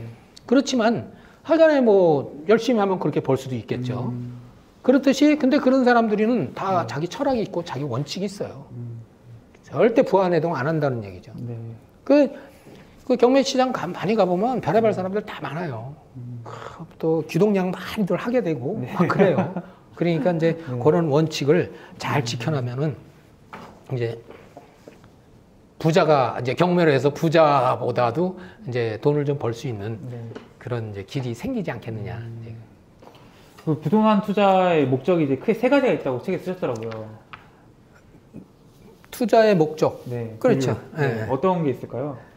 이제 투자의 목적을 이제 그 어, 부동산에 이제 좀 분류를 해보면 목적을 좀 분류를 하면 아 나는 아까도 잠깐 얘기했지만 나는 지금 집이 절실해. 네. 내가 살고 싶은 집을 하나 싸게 사고 싶어. 네. 남들은 100% 200% 정말 그 아파트 저 고가 낙찰을 하지만 난 그렇게는 할 수 없지만 네. 나는 그래도 내가 살고 싶은 빌라라든지 아파트라든지 네. 단독주택이라든지 이런 거를 내가 하나 경매로 싸게 좀 다음은 500이든 1000이든 1억이든 좀 싸게 사고 싶어. 네. 그 실거주용 부동산이지 않습니까? 음. 그게 이제 목, 목적이 되는 거예요. 네. 나는 실거주용 내가 살 우리 아이들 딸하고 같이 저자식과 같이 살 집을 내가 하나 살 거야. 네. 그러면 그게 목적이 되니까 물건 찾기가 좋다는 얘기. 네. 그게 이제 첫 번째 분류야. 음. 두 번째는 내가 이제 그, 그 수익성 수익성 부동산이야. 네. 아 나는 내가 돈이 좀 있어. 네. 그럼 아파트를 사든지 오피스텔 사든지 뭐 또 상가를 사든지 꼬마 상가를 사든지 아니면 뭐 상가 주택을 사든지 나는 그 뭔가 월세가 나오고 수익이 되는 걸 살 거야. 네. 그럼 그 수익성 부동산 있잖아요. 네. 그게 이제 두 번째 분류. 음. 세 번째는 투자형이 있는 거예요. 음. 투자형은 아 나는 뭐 당장 돈은 안 나오더라도 어떤 개발지라든지 재건축이라든지 재개발이라든지 네. 아니면 어느 지역에 뭐 택지 개발 예장 지어라든지 네. 뭐 아니면 어떤 고속도로 나오는데 뭐 인터체인지가 비슷하게 나는데 네. 그런 거 나오면은 싸게 뭐 사면은 나중에 감정가 이상으로 받을 수 있으니까 그런 거라든지 이런 게 전형적인 투자형이에요. 아. 그렇잖아요. 네, 그렇죠, 그렇죠. 어, 그거는 어떤 금방 어떤 다달이 나오는 그 월세라든지 임대료는 이제 생각을 않고 네. 투자형 기대 수익을 보고 하는 거죠. 그래서 이제 부동산을 이제 투자를 하는 데는 특히 경매 경매 네. 경매 부동 에, 투자를 하는데 그렇게 세 가지 분류를 나눠서 투자를 한다. 음. 그것도 자기가 목적에 목표에 음. 맞게 하면 돼요. 음. 나는 살 집. 아 나는 그 기대 수익을 보고 네. 나는 재건축에 투자할 거야. 네. 재개발에 투자할 거야. 아니 나는 당장 돈이 아쉬워. 나는 한 달에 먹어야 돼. 먹고 살아야 돼. 아 그럼 수익성 분석, 수익 수익형 부동산, 그 오피스텔이나 점포, 상가, 뭐 다- 단지 내 상가라든지 상가라든지 돈 더 많으면 꼬마 상가라든지. 그런데 결론적으로는 다 부동산이라는 거는 어떻게 돼요? 나중에 기대 수익이 다 있다. 음. 세 가지 투자 분류를 했어도 네. 결론은 기대 수익은 다 생기는 거예요. 음. 왜? 사는 집을 기대 수익을 생각하지 않고 했지만 결론은 어떻게 돼요? 올라. 올라간다고. 부동산은 지금 현재 조금 내가 아 시세보다 조금 비싸게 산 거야 같아. 뭐 싸면 더 좋지만 그럼에도 불구하고 향후에 나도 잊어버리고 가만히 있다 보니 나중에 얼마 오른다는 얘기야. 아. 지금까지 다 그랬어요. 음. 지금까지. 네. 그럼 앞으로는 어떻게 될 거냐? 네. 그게 궁금하잖아요. 네. 나는 이렇게 평가를 해요. 네. 전에도 이제 그 어떤 소규모 강의라든지 여러 사람한테 얘기할 때 네. 앞으로 부동산 가격이 어떻게 될 거냐. 네. 어, 앞으로 이만큼 올랐으니 떨어질 거다. 이렇게 떨어진다는 사람 얘기는요. 그 전에 아파트 32평 3천만 원 막 이렇게 할 때도 네. 아 이제 올만큼 올라서 떨어져. 네. 이렇게 얘기해요. 어. 지금도 마찬가지예요. 지금 음. 32평형 뭐 서울에 뭐 이제 9억 뭐 10억 있는데 네. 이제 올 만큼 올랐잖아요. 네. 아유 그거 얼마나 더 오르겠어 이제는 또 떨어질 밖에 더 있어 이렇게 얘기할 수 네. 있잖아. 나는 그렇게 반대로 생각해요. 어. 우리나라가 이게 머물고 있어요. 네. 우리나라 경제는 항상 더 치고 올라가요. 네, 성장하죠. 지금 우리나라 선진국으로 이미 유엔에서 이제 네. 이제 명령을 했잖아요. 네. 그러면 경제가 항상 발전되고 국민 소득은 올라가게 돼 있어요. 네. 국민 소득이 지금 3만 달러 이상 돼 있죠 아마. 네.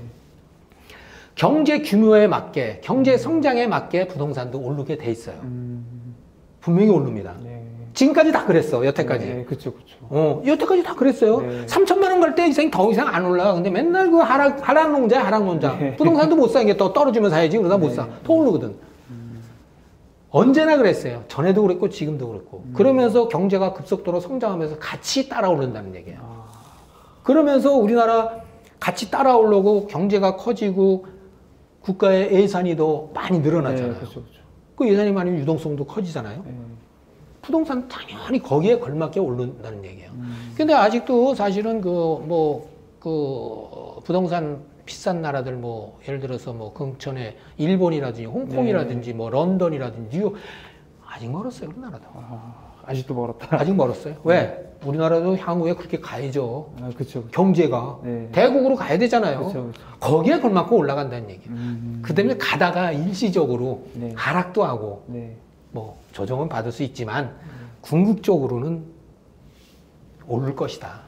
저는 긍정론자예요 그렇게. 네. 어. 아, 그 이제 뭐 요즘 유튜브 영상 이런 거 보면은 이제 신혼집 이런 거 마련할 때 네. 절대로 전세 사지 말라는 이제 메시지들이 많거든요. 네. 그러니까 이제 뭐 형편되면 물론 자가를 사는 거지만 이제 전세를 사느니 월세를 사서 월세 살면서 그 목돈을 이제 뭐 갭 투자를 한다든지 이런 식으로 투자하는 것이 낫다 이런 식의 메시지가 많거든요. 그건 정답이죠. 정답이에요. 그럼요. 어, 가장 어리석은 사람이 네. 집 팔아서 땅 팔아서 사업하는 사람들. 음, 또집 네. 팔아서 에이 당분간 전세로 가야지. 네. 그거는 안, 안 해요. 그거는 재산을 까먹는 행위예요. 아, 그 이 보통 공장이라든지 이 제조업하는 사람들은 네. 어떤 그 토지의 어떤 기대 이익보다 네. 눈앞에 제조업을 해서 수익을 내고 네. 그 종업원들 돈 이제 봉급 주고 네. 그런 게 1차 목표예요. 네. 그러다 보니까 나중에 보니까 이 땅값이 폭발로 올랐잖아요. 그러다 보니까 부자가 된 거예요. 네. 그렇게 생각을 하셔야지 음, 그걸 내가 야 있는 재산 팔아가지고 그거 뭘 한다 그렇게 하면 안 되는 거예요. 억지로라도 만들어서 네. 공장하는 사람들 억지로라도 만들어서 음, 결국엔 다 부자 됐어요. 음, 그렇게 내가 경매로 땅 사준 그 저 공장 사준 네, 그, 네. 그 이제 남해 있다가 경매로 네. 와가지고 경매 사준 그 저 고객들 뭐 네. 고객도 있지만 친구도 있고 후배도 있고 그렇지만 음, 결국은 그거예요. 그래서 지금 아까 우리 사회자가 물어본 거는 네. 그야말로 정답이에요. 어, 그건 어느 유튜브들이 제대로 알려주는 거예요. 전세는 절대 살면 안 되는 거예요. 어, 절대는 아니고 절대라는 말은 아니지만 네, 네. 상황에 따라서 뭐 그렇지만 어떤 내가 가지고 있는 팔아서 어떤 그 더 낮춰서 뭐 네. 전세로 간다든지 뭐 물론 뭐 뭐 또 공장이나 제조업을 해서 더 크게 벌어서 더 공제 그 저기 할 수 있지만 네. 통상적으로 그거는 역행하는 길이다 음. 재테크의 역행하는 길이다 네. 이렇게 말씀드릴 수 있는 거예요. 그리고 요즘에 보면 이제 저같이 좀 이제 2030들은 이제 우리 세 우리 시대 우리 세대들은 이제 집 사는 게 끝났다 너무 올라가가지고 이런 얘기도 종종 하는데 집 살 수 있는 기회가 올까요? 집 살 수 있는 기회는 지금도 그렇고 앞으로도 계속이죠. 음, 집 경매로 사면 되잖아요. 네. 지금 요즘 사실은 그 살짝 그 조금 경매 시장이 네. 조금 화랑세에서 조금 아마 조금 네, 낮아졌어요. 조금 요즘 주춤해요. 네. 경락가도 경락가란 말을 잘 안 쓰는데 이제 매각가, 네. 이제 경락, 낙찰, 매각 네. 이게 이제 똑같은 말이잖아요. 네. 이제 그 매각가도 좀 이제 그, 그 매각 가율이 네. 좀 낮아졌어요. 음, 매각 가율이 낮아져 가지고 어, 어떻게 보면은 네. 이제 지금도 또 찬스예요. 음, 항상 찬스는 있어요. 네. 네. 기회는 있어요. 어, 지금 뭐 지금 부동산 살 때일까요? 아닐 때일까요? 네.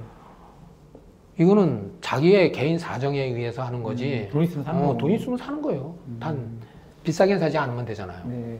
비싸게 안 사면 되잖아. 음. 비싸게 안 사면 경매에도 뭐 고가 고가로 받는 사람들 물론 이제 고가로 받는 사람들은 전혀 이상하게도 안 생각해요. 음. 어떤 사람들은 저럴 것 같으면 뭐하러 저기서 사냐. 이런 실물로 사지. 예. 그건 천부당 만부당한 얘기예요. 그 사람들 돈 아까운 줄 몰라요. 음. 그 사람들 돈 아까운 줄 더 잘 알아요. 음. 그럼에도 불구하고 사요. 음. 그 사서 더 올랐잖아요. 음. 그 사람들은 한 수 위에 있는 사람들이에요. 어, 그렇게 보면 돼요. 더 앞을 내다본 거. 그럼요. 음. 그걸 뭐 경매 딱 경매에서 낙찰가 비싸게 물론 기재를 잘못해서 상황 판단을 해서 그거 실세인 거는 말고 네. 그거는 얘기 얘기할 가치도 없죠. 네. 음. 그러면 그런 사람들은 나중에 경매 저기 그냥 취소시켜 버릴 수도 있고 음. 그냥 포기할 수도 있고 그러니까 그런 거 말고 네. 거기에 뭐 어리석은 사람들은 없어요 경매 시장에 다 정상적이고 네. 제대로 파악하고 하는 사람들이 들어오지 시세 파악하고 하는 사람들이지 네. 그러니까 고가 납찰한다고 그래서 어휴 그 뭐, 이거는 그 모르는 사람들이에요. 그럼 이 작가님 이제 말, 말씀을 듣고 아 이제 경매를 좀 시작해 봐야겠다 경매를 내 집 마련 좀 해야겠다 했을 때 경매 시작하기 전 좀 짚고 가야 될 거 뭐 있을까요? 경매를 내가 해서 그 아까 얘기했지 이제 종목 분류를 해서 뭐 네. 수익형이든 수- 저 투자형이든 실거주형이든 네, 하려면 돈이 있어야 되잖아요. 그렇죠. 우선 근데 누울 자리 보고 뻗으랬다고 내가 돈도 없는데 네. 그거 할 수는 없잖아요. 네. 그걸 이제 우리가 이제 종잣돈이라는 네, 말을 써요. 종잣돈이라는 말을 싸지요. 그래서 네. 그 2019년도에 그 한국 KB 금융에서 그 부자가 되는 길인가 이런 그 책을 어, 리포트인가를 낸 거 보니까 아, 네. 거기서 이제 종잣돈이라는 얘기도 나오고 네. 뭐 저축 능력이라는 말도 나오고 네. 그러는데 이런 그 저, 종잣 최소한도 종잣돈 정도는 네. 이제 어느 정도가 되는지 네. 그런 걸 알고 시작해야 된다. 대략 얼마를 모아야? 진짜? 근데 이제 그 종잣돈이라는 거는 네. 그 내가 어느 부동산 어떤 걸 내가 그래서 자꾸 얘기하지만 네. 이제 목적을 정해놓고 하라는 얘기를 자꾸 얘기를 하는 거예요. 네. 내가 예를 들어 투자형 부동산에다 좀 하고 싶다. 네. 실거주형 부동산에다 하- 하고 싶다. 수익형에다 네. 하고 싶다. 뭐 거기에 따라서 종잣돈 저기는 달라져요. 음. 예를 들어서 내가 투자형에다 하고 싶다. 아 투자형에다 하는 싶은데 그 투자형에서 할 수 있게 적은 돈으로 할 수 있는 게 뭘까? 네. 내가 예를 들어 천만 원밖에 없는데 네. 어 투자형으로 뭘 할까? 그래서 우리 김인성 강사한테 물어보니까 네. 김인경 김인성 강사 왈 네. 지분 투자를 해와라 네. 이런 얘기를 하는 거야. 음, 어? 네. 네. 자 지분 투자하면 네. 이제 목적이 정해졌잖아. 네. 근데 범위가 좁아졌어. 그렇죠. 그렇죠. 나는 돈 천만 원 정도밖에 없어. 음. 근데 하여튼 이거 가지고 투자를 해보고 싶어. 네. 경매도 해보고 싶어. 네. 배우고 싶어. 네. 근데 지금 천만 원 가지고 어느 코에다 붙여. 아. 아무것도 못 하잖아. 네. 부동산에 붙자도 못 붙일 수 있는 게 바로 그, 그 정도 단위거든. 네. 네. 그런데 지분 투자에는 의외로 또 그런 게 있더라는 얘기예요. 음. 그게 바로 투자형이야. 네. 그러면은 내가 아 김인성 강사한테 김인성 전문가한테 물어보니까 요걸 해라 그런다. 네. 그럼 난 요거부터 해봐야 되겠다. 음. 그럼 그거 이제 시작이야. 그게 목적이야. 네. 그럼 물건 찾는 거야 거기서 음. 지분 투자. 아. 지분 투자에는 주택도 있을 수가 있고 네. 토지도 있을 수 그렇죠. 있고 그렇죠. 다양하단 말이야. 네. 그러니까 내 눈에 이제 그것만 보이는 거야. 아. 그래서 종잣돈이라는 것도 내가 투자를 할 수 있는 그 투자 대상 분류가 뭐냐에 따라서 네. 그 금액이 달라진다. 네. 그래서 종잣돈이 얼마만큼 돈 얼마 갖고 시작해야 된다는 거는 그런 정함이 없다. 음. 얘기가 됐어요? 네, 네, 네. 그렇게 하는 거예요. 경매도. 어. 어. 그래서 그 돈에 따라서 네. 이제 맞춰 나가는 네. 돈에 따라서 물건도 있고 그러니까 음. 경매를 시작할 때 네. 뭘 이제 준비하고 필요해야 되는 게 이제 대출 이제 한도를 생각해야 돼요. 대출 한도. 아, 그 목자들은 이제 뭐 대출을 이제 지독하게 싫어하고 네. 그런 사람들도 물론 있어요. 네, 네. 그래서 뭐 에버리지 얘기만 나와도 뭐 네. 아, 에버리지 타령한다고 막 그러는데 네. 그건 투자를 모르는 사람들이 하는 얘기예요. 음. 돈 있는 사람들 진짜 투자하는 방법은 대출을 일으키는 방법이에요. 어. 수익성이 높아지잖아요. 네, 그렇죠, 그렇죠. 당연히 높아지죠. 음. 어? 내 돈 투자를 생돈 투자해서 월세 수익 받는 거하고 내 돈 플러스 알파 그 융자 이렇게 해서 대출 이렇게 해서 하는 건 수익성이 완전히 달라져요. 물론 계산법이 다 있지만 네. 그건 뭐 얘기 하나마나 달라져요. 네. 그렇기 때문에 왜냐면 대출 금리보다도 수익 금리가 더 많이 나오잖아. 네. 임대 수익이 그렇죠, 그렇죠. 임대 수익이 대출 금리보다 낮은 경우는 한 없죠. 번도 없어요. 네. 그건 있을래 있을 수도 네, 없고. 네. 그러면 당연히 많아지는데 대출을 안 일으켜요? 그러니까 뭐 에버리지 타령하고 대출 타령하는 사람들 뭐 이렇게 얘기하는 사람들은 그건 투자의 기본을 모른다. 음. 저는 감히 그렇게 얘기를 하는데 네. 그러면 요즘은 대출이 철두철미한 신용사회이기 때문에 네. 그 신용도에 그렇죠. 따라. 네. 그래서 이거 이 정도면 대출 얼마 나와요? 이건 네. 의무냐? 음. 그러면 너 신용도가 얼마냐 이걸 네. 따져야 아, 되거든. 음. 그래서 신용도에 따라서 지금 뭐 DTI라든지 뭐 LTV, DTI, DSR 다 좋아. 그것도 신용도야, 그 네. 궁극적으로. 신용이 나쁘면 안 나와요. 그렇죠, 그렇죠. 네. 그러니까 자기를 알아라, 얘야. 내 대출 한도, 내 신용이 어느 정도까지를 알고서. 네. 종잣단은 나는 요 정도 되는데, 그럼 요 정도에 맞추는 내가 부동산은 할 수가 있겠구나. 한번 찾아보면, 네. 두 번째는 내 대출 한도는, 아, 요 정도 되겠구나. 네. 나 신용도가 어느 정도니까. 네. 그거 계산하고 하는 게 경매의 첫 번째 시작이에요.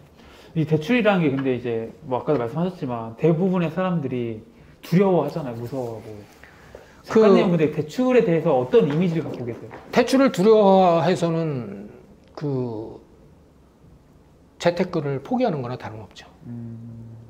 근데 이제 그 대출을 일으켜서 내가 뭘 하느냐에 따라 다르지만 예를 들어 대출을 일으켜서 주식을 한다, 코인을 한다. 네. 이거는 내가 말리죠. 그거는 이제 그런 걸로 인한 대출 얘기는 절대 아니고 네. 부동산으로 재테크를 하는 관점에서 네.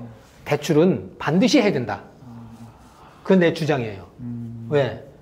수익성 분석이고 내가 돈이 모자랄 때 보충을 해서 그 원하는 부동산을 취득할 수 있는 이- 이유가 되잖아요. 네. 그리고 그 금리는 내가 거기서 나오는 수익보다 훨씬 낮은, 낮게 네. 그리고 또 떨어져. 음. 그런데 그걸 안 해요? 그거는 아까도 얘기했지만 그 투자의 방법을 전혀 모르는 사람들이죠.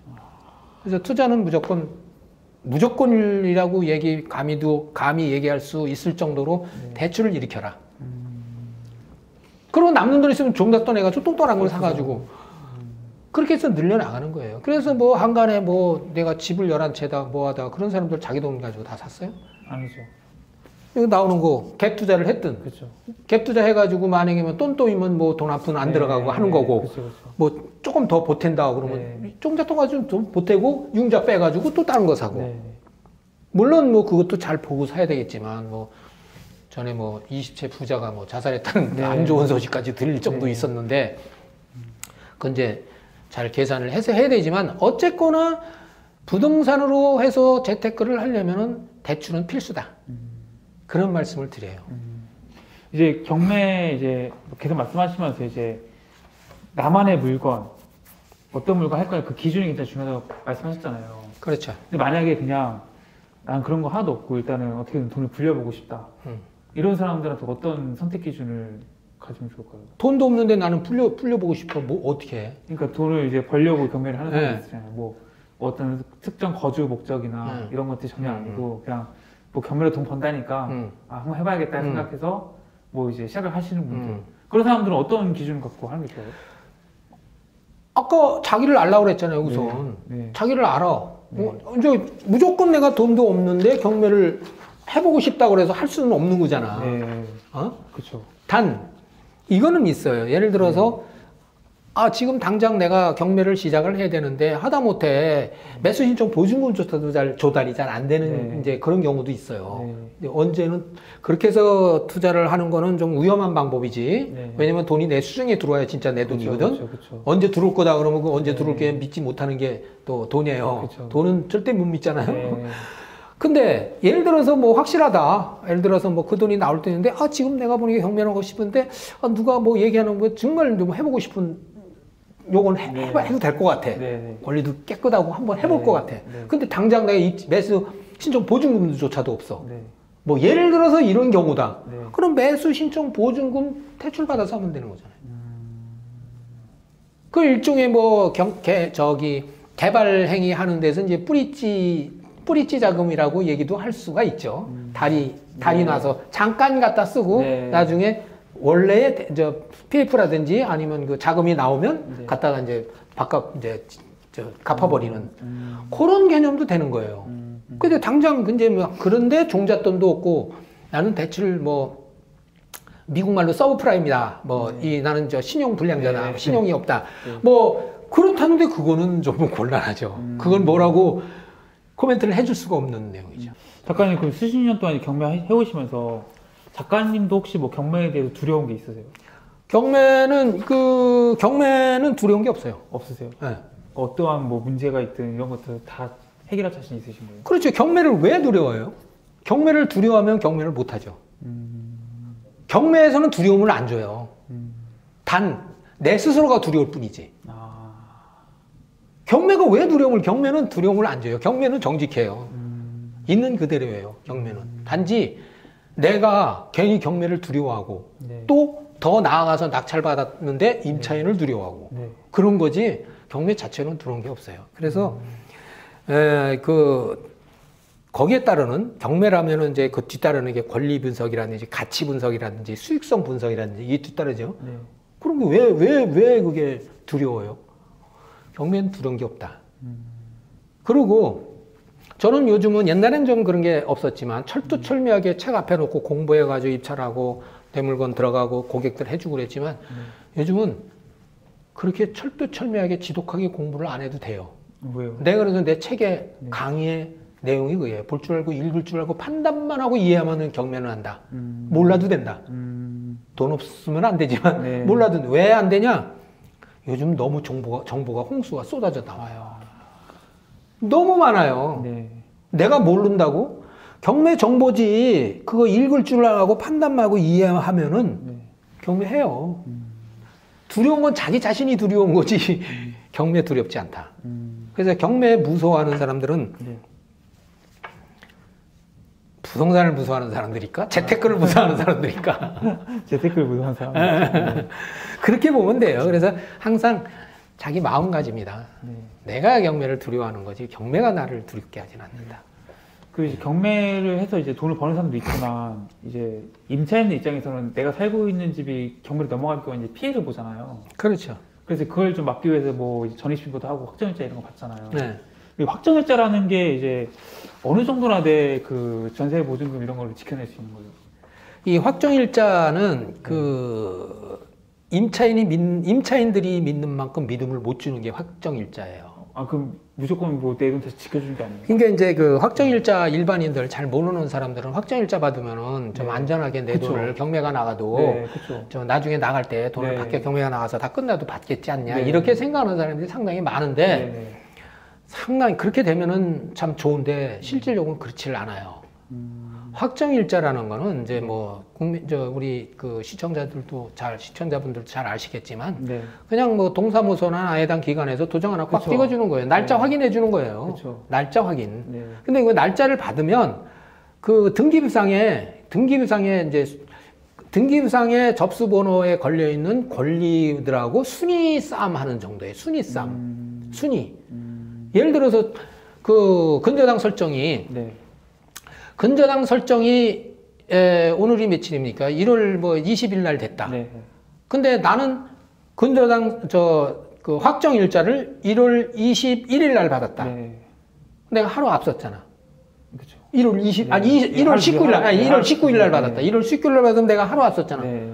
그리고 1월 1일 날 받으니까 내가 저보다 빨라. 네. 그럼 소위 말하는 내가 선순위다. 선순위죠. 네. 그러면 선순위라 네. 선순위가 돼 버리면 네.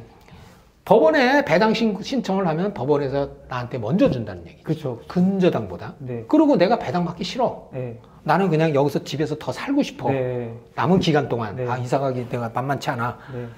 그러면 거기서 더 살고 있다가 네.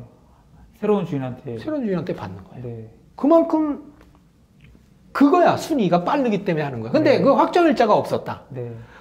확정일자가 없으면 순위가 확정일자가 예를 들어 빨 없었다가 아니라 없거나 느리다. 네. 그러면은 근저당보다 느리거나 없으니까 은행에다 배당 신청한다고 돈 주나? 안 준다는 아니죠. 얘기예요. 아니죠. 네. 안 주는 거야. 네. 후순위, 후순, 내가 이제 저 근저당보다 날짜가 늦어. 네. 배당 신청해서 은행에서 돈 주냐 이게 안 줘. 안 주죠. 근데 안- 아주 안 주는 건 아니지만 순위에 따라서 줄 수도 1순위, 있고 어, 안줄 수도 1순위 근저당, 2순위 근저당, 네. 3순위 근저당 이 사람들이 다 가지가 여기서 다 가지고 나서 남는 돈이 있다. 근데 내가 순위가 제일 4순위다. 근데 남는 돈이 있어. 그러면 그거 받는 거야. 그렇게 해서 받는 거야. 그러니까 실질적으로 그런 순위 싸움에 의해 가지고 임차인들이 그 근저당보다 네. 선순위에 있는 경우 네.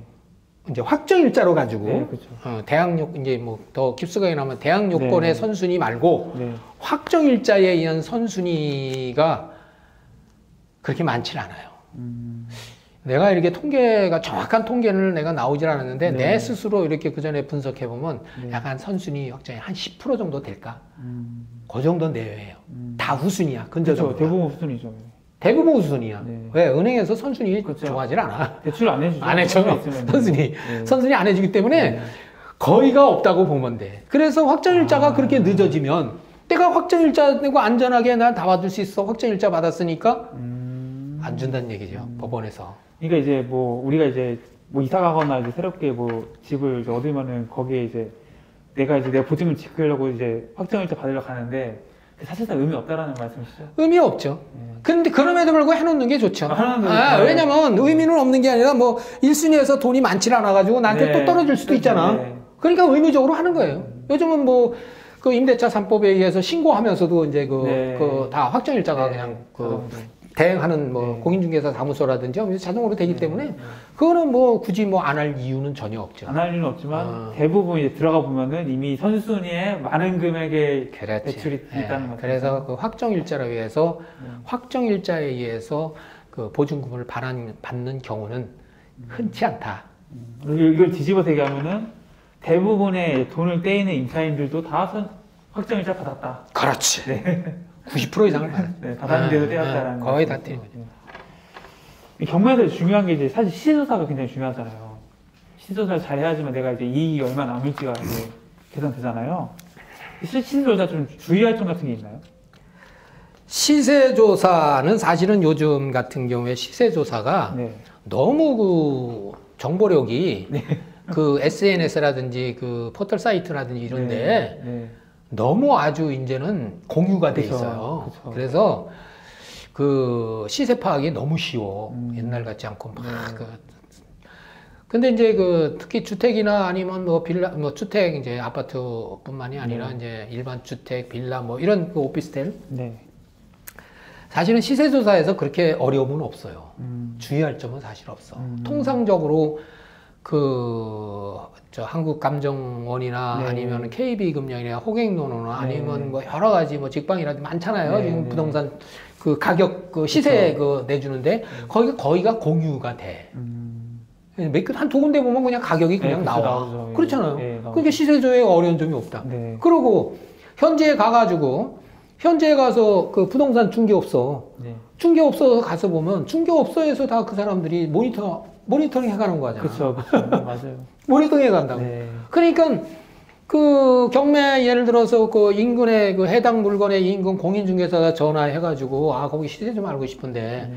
내가 이제 사서 거기다가 그 사면은 매매하거나 네. 임대하면 거기다 이제 의뢰도 좀 하고 네. 등등 그럴 텐데 시세를 좀 좀 알고 싶다 네. 어떻게 되는지 그러면 그거 뭐 시세는 얼마지만 그거 다 나와 있잖아요 네. 한국감정원에 나와 있고 다 나와 있잖아 이런 정도예요 이제 요즘은. 그럴 필요도 없는 언제는 거예요. 그런 거 네. 없는 거예요 근데 이제 단지 토지나 상가는 예외죠 음. 그건 철두철미하게 예외죠 음. 왜냐면 이런 거는 지금 주택 같은 경우에 거래세가 워낙 많아갖고 네. 시세가 금방 나오고 정보 제공업소에서 그쵸. 시세가 다 뻔하기 때문에 네. 이제 시세 파악에 어려움이 없는데 이 상가라든지 토지는 거래사례가 그렇게 많지를 않아요. 그래서 이, 이 특히 이제 상가 같은 경우에 수익성이 됐든 투자용이 됐든 간에는 네. 그 인근 부동산 그 인근 공인중개사 사무소 적어도 두 군데 세 군데선 반드시 체킹을 해야 돼요 시세 조사를. 음. 그리고 그 시세 조사뿐만이 아니라 네. 그 상가 같은 경우에 거기에 입점한 업, 업체가 네. 입점한 그 업소가 있을 거 아닙니까? 네. 과연 입점한 업소가 그, 그 주변 상권하고 맞는 업소가 들어갔는지, 음. 예? 생뚱맞은 게 들어갔는지, 예. 이런 거 상당히 중요해요. 음. 어, 가서 보니까, 어, 저기는 위치가 상당한데 생뚱맞은 업소가 들어가요. 지금 네. 운영을 해. 경매로 나온 물건인데, 저런 데다가 프랜차이라든지 조금 잘하는 프랜차이즈 하나 들어가면 그냥 상가 가치가 확 오르겠는데? 음. 왜냐면 요즘 같은 경우에는 프랜차, 잘 되는, 잘 나가는 프랜차이즈 하나 잘 들어가면 상가 가치가 잘 올라가요. 그렇죠. 뭐 스타벅스 뭐 스타벅스가 네. 올라가면 이제 예를 들어서 그렇게 얘기하는 네. 거죠. 그러면 그런 게 이제 다 시세 조화가지고 맞물려가지고 현장 조사에 발품 조사예요. 시세 조사뿐만이 아니라 네. 반드시 그게 중요하다는 얘기야. 어 시세는 저런데 어 살짝 그거 업종 변경을 노력을 해서 하거나 또 뭐 리모델링을 조금만 고치면은 어 저 시세가 좀 나가겠는데 같이 그렇게 해서 돈 버는 사람들 상당히 많아요. 음. 그 시- 위치가 별로 안 좋아서 가격도 별로 안 나가는데 네. 리, 리모델링 싹 해버리고 업종 변경 싹 해버려가지고 그거 요즘 간간히 그런 거 많이 나오잖아요. 연예인들도 그런 거 사가지고 네, 싸가지고 맞아요, 막 맞아요. 바로 그런 거예요. 그래서 이 주택 이런 거는 뭐 시세가 아까 말씀드린 그대로고 그 대신 상가 같은 경우에는 이제 그런 식으로 가서 면밀하게 분석을 해봐야 된다. 시세는 물론 이제 그, 그 공인중개사 특히 공인중개사 사무소 네. 또 인근에 그 인근 비슷한 매물이 그 부동산 그 저기 사이트 있지 않습니까? 네. 네이버라든지 다음이라든지 네. 이런 포털 사이트가 많이, 많이 나오잖아요. 네. 이제 뭐 그런 거 분석해보고 그것도 다 결국에는 이제 공인중개사 사무소에서 내놓는 매물이긴 하지만 이제 뭐 그런 거라든지 현지에 가서 그런 거라든지 그런 거 잘 파악을 해보고 분명히 가격 상승 요인이 있는데 이건 가격이 상당히 좀 그래도 괜찮다. 네. 일반적으로 볼 때는 어 가격이 비싸지만 네. 일반적으로 볼 때는 가격이 비싸지만 내가 조금만 더 요거 관심 있게 시장 조사하고 업종 변경하고 요거 싹싹 해버리면 리모델링 해버리면 요건 분명히 가치가 있다. 이런 거. 음. 상가는 반드시 그게 체킹이 돼야 된다는 얘기죠. 아주 중요한 얘기예요. 그거는 시세 못지않게 주변 상권 파악하고 네. 아, 이거 맞지 않는 상권이니까 이렇게 내가 변해버린다 그러면 그 가치 상당히 높아져요.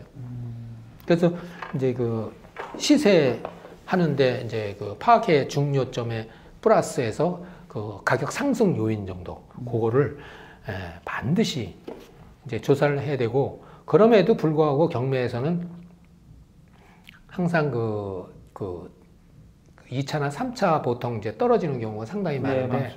이제 최저 가격 시세로 놓고 검토를 하면서 음. 거기서 이제 자기 수익성 분석하고 자기 종잣돈 분석하고 뭐 등등 분석해야 될 거 분석하고 이제 그렇게 해서 이제 검토를 하고 입찰을 하면 좋을 거예요. 이 부동산이 이제 상승이 있고 하락기가 있잖아요. 예. 이 불안과 호황 언제 이제 사는 게 좋아요? 이 부동산이라는 게 네. 상당히 좀 그, 그 객관적으로 평가를 많이 하는데 네. 그 부동산을 사실은 객관적으로만 평가하기는 사실은 좀 어려운 게 부동산이에요. 음. 주관적 개입이 많이 들어가요. 그쵸, 네. 주관적 개입이 그래서 음. 그 상승할 때 사야 되느냐 또 하락할 때 사야 되느냐 네. 일반적으로 떨어질 때 사야지 다음에 남는 게 있다고 그러잖아요. 그렇죠. 일반적으로 그렇죠. 일반적으로 예, 보통. 예, 예. 근데 나는 아니에요. 어. 떨어질 때 어디가 바닥인 줄 알고 어디가 떨어질 때 그쵸. 저기에. 예, 그렇죠. 그리고 내가 필요해서 살 건지 아니면은 뭐 투자해서 투자용으로 살 건지 얼만큼 기다려서 사야 될 건지 음. 그런 건 잘 모르잖아요. 모르죠. 예. 근데 일반적으로 사실은 부동산이 살짝 오를 때 사는 게 더 받는 거예요. 음, 뭐 반등을. 어, 그렇다고 뭐 최근처럼 그렇게 폭등하는 시세 물론 폭등해도 거래는 다 됐어요. 네, 됐죠. 근데 아까도 얘기했지만 폭등해서 거래가 되는데 그거 사는 사람들 봐볼까요? 돈이 철철 넘쳐 흘러서 그럴까요? 그렇지 않아요. 다 그 사람들 돈 많은 사람들이 그것은 잘해요. 네. 돈 있는 사람들이 그쵸, 돈 욕심도 많고 그렇죠. 그렇죠? 네.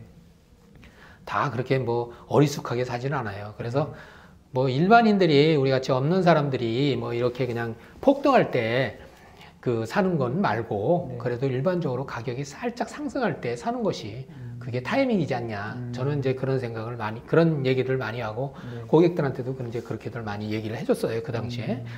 근데 하여튼 그 보통 이제 그 최근에 아파트 시장을 한번 보면 네. 아파트 시장을 어떻게 봤어요? 최근에? 최근, 최근뿐만이 아니야. 네. 최근뿐만이 아니라 네. 그 통계를 보면 네. 그 2000, 그 2017년도부터 네. 경매 통계를 보면 아파트가 다 100% 이상 상- 감정가가 다100% 이상이야. 음. 내가 그 책에도 내가 그 통계 지표를 내가 다 기재를 네, 했지만 네. 다 100% 이상이야. 근데 다 거래가 되잖아. 그렇죠, 그렇죠. 아까도 얘기했지만 그 사람들 뭐 바보라 그렇게 비싸게 사? 싸게 살 줄 다 알잖아요. 그렇죠. 그 사람들 그때 산 사람들 다 벌었어요, 지금. 네. 2017년도에 100%산 사람들 다 벌었다고. 음. 근데 그 당시에는 에이, 저거 그렇죠. 왜, 네. 지금 왜 저렇게 비싸게 사? 100%왜 사? 감정가에 100%살 거면 뭐하러 여기서 사? 네. 실거래에서 사지. 그렇죠, 그렇죠. 다음 한 푼이라도 싸게 사지. 그렇죠. 그거는 부동산 투자를 사실은 조금 모르는 사람들이에요. 음. 그 사람들 그렇게 100% 이상 사는 데는 다 이유가 있고 네. 돈더 아까워할 줄 알고 아까도 얘기했지만 음. 돈 욕심 더 많은 사람들인데도 불구하고 사요. 음. 그만큼 향후 기대 가치가 있고 가격 상승 요인이 충분하다고 사는 거고 네. 또 나아가서는 그렇게 투자용 아닌 또 필요한 사람들은 살 수가 있다는 그렇죠, 얘기예요. 그렇죠. 필요한 사람들이 사고 나니까 올란 거야. 음. 그 사람들은 그냥 아우 나 여기 꼭 서울에 그 조 동네 아파트 내가 꼭 사고 싶은데 어 이거 실거래는 별로 없고 진짜 경매에 나오는데 사람들은 많이 들어와. 네. 어, 난더 비싸게라도 사야지. 사는 거예요. 사고 나니까 어땠어요? 다 올랐잖아. 올랐죠. 올라도 많이 올랐잖아요.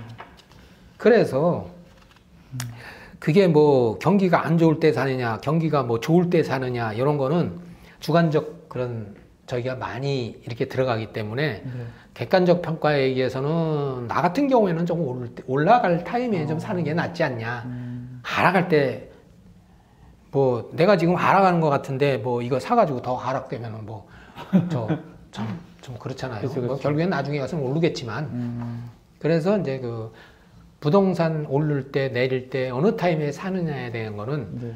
이제 그 객관적 평가의 기준에 의해서 어느 때 사야 된다고 얘기하는 사람들마다 조금씩 다 다른데 나 같은 경우에는 이제 조금 그래도 그 안정 가격, 안정 상승 때가 타이밍이지 않냐. 음. 난 저는 이제 그렇게 보는 관점이에요.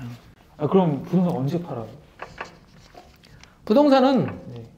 자기가 팔고 싶을 때 팔면 돼요. 음. 팔고 싶을 때가 있잖아. 네. 근데 팔고 싶을 때가 어, 언때야? 뭐- 빚주고 팔 수는 없잖아. 네. 뭐 돈이 필요할 때라. 돈이 필요할 때 팔아야 돼.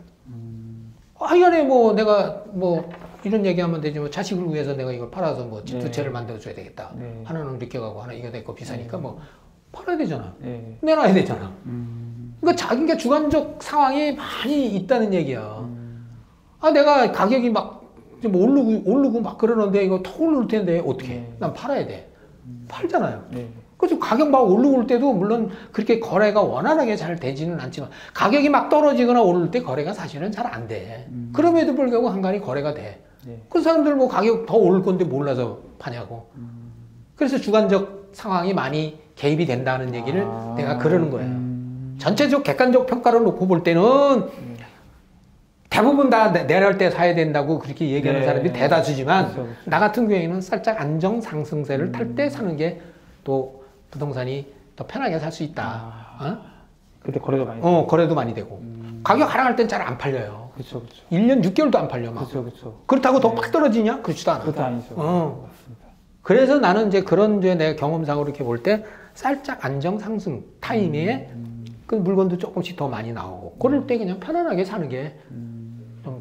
저 그걸 보러 이제 그 매수인 시장이지 매수인이 강세니까 네. 어? 매수인 강세 아니야 이제 네, 그쵸, 또, 그쵸. 어, 매도인 강세일 수도 있고 하여튼 뭐 그는 매도인 시장이냐 매수인 시장이냐 뭐 그거는 뭐 법률적으로 저, 저 실무에서 이제 많이들 이제 책에서도 네. 많이 얘기를 하는데 하여간 그래서 내 나는 이제 그렇게 봐요 음. 그 이제 경매 물건 나온 거 보면 뭐 빌라나 다가구 같은 거 보면은 위반 건축물 있잖아요. 예. 그런 것들은 뭐 아무래도 위반이 됐다니까 뭐 이행 강제금이나 뭐 혹은 뭐 철거 명령이라든지 이런 거가 좀 걱정이 되긴 하거든요. 그렇죠 그럼 위반 건축물 어떻게 보세요? 그런 이제 위반 건축물 이제 그 얘기하기 전에 잠깐 내가 그 부동산 뭐 내릴 때 사야 되느냐 네. 뭐 오를 때 이건 내가 실거래에 있어서 이제 얘기를 한 거고 경매 시장에서는 네. 그럼에도 불구하고 항상 거래가 되고 판매가 돼요. 음. 부동산 경매를 내가 오늘 인터뷰를 네, 하는데 네. 일반 그 실거래에 있어서만 얘기를 했는데 부동산 경매는 항상 거래되잖아요. 그렇죠. 언제든지. 부동산 경기가 하락하고 안정 하락한다 그래서 거기가 거래가 안 돼요. 거기는 항상 거래가 네, 돼요. 단 가격이 얼마냐 이제 가격만 네. 조정이 좀 들어갈 뿐이지 거래는 음. 늘상 된다. 음. 경매 시장에서는 네. 어떻게 보면 경매 시장에서는 사실 불황이라는 건 없어요. 음. 단 평상시의 매각가율, 네. 평상시의 매각률 네. 그것만 살짝 살짝 달라지다 뿐이지 경매 시장은 항상 화랑이라고 보면 돼요. 늘 거래. 네, 어, 늘 거래가 되기 때문에. 음. 일반 시장에서는 거래가 하락하면은 거래가 잘 안 된다고 그러고 그렇죠. 상승하면 매물이 또 감춰져서 또 거래가 안 된다고 그러지만 경매 시장에서 항상 된다. 네, 그런 말씀을 이제 들을 수가 있고 음. 그게 이제 그 위반 건축물이라면은 이제 우리가 흔하게 많이 봐요. 네. 이제 그 위반 건축물이 이제 불법이거나 위법이거나 이제 이런 거를 이제 많이 따지는데 네. 뭐 불법이냐 위법이냐 뭐 우리 가릴 필요는 물론 없겠지만 네. 우리가 이제 불법이라 하면은 보통 허가 없이 네. 그냥 뭐가 걸어진 걸 그냥 불법이라고 그러고 위법이라고 그러면 적법한 절차를 거쳐서 허가를 받아서 건물을 졌는데 네. 쉽게 얘기해서 거기다 옥탑방을 올렸다든지 아, 네. 예? 발코니를 또 해서 네. 저 베란다 말고 발코니를 해가지고 네. 이제 위에다 챙을 달아서 면적을 늘렸다든지 네. 이런 경우에 이제 그 이제 그 위반 건축물로 많이 보잖아요. 네.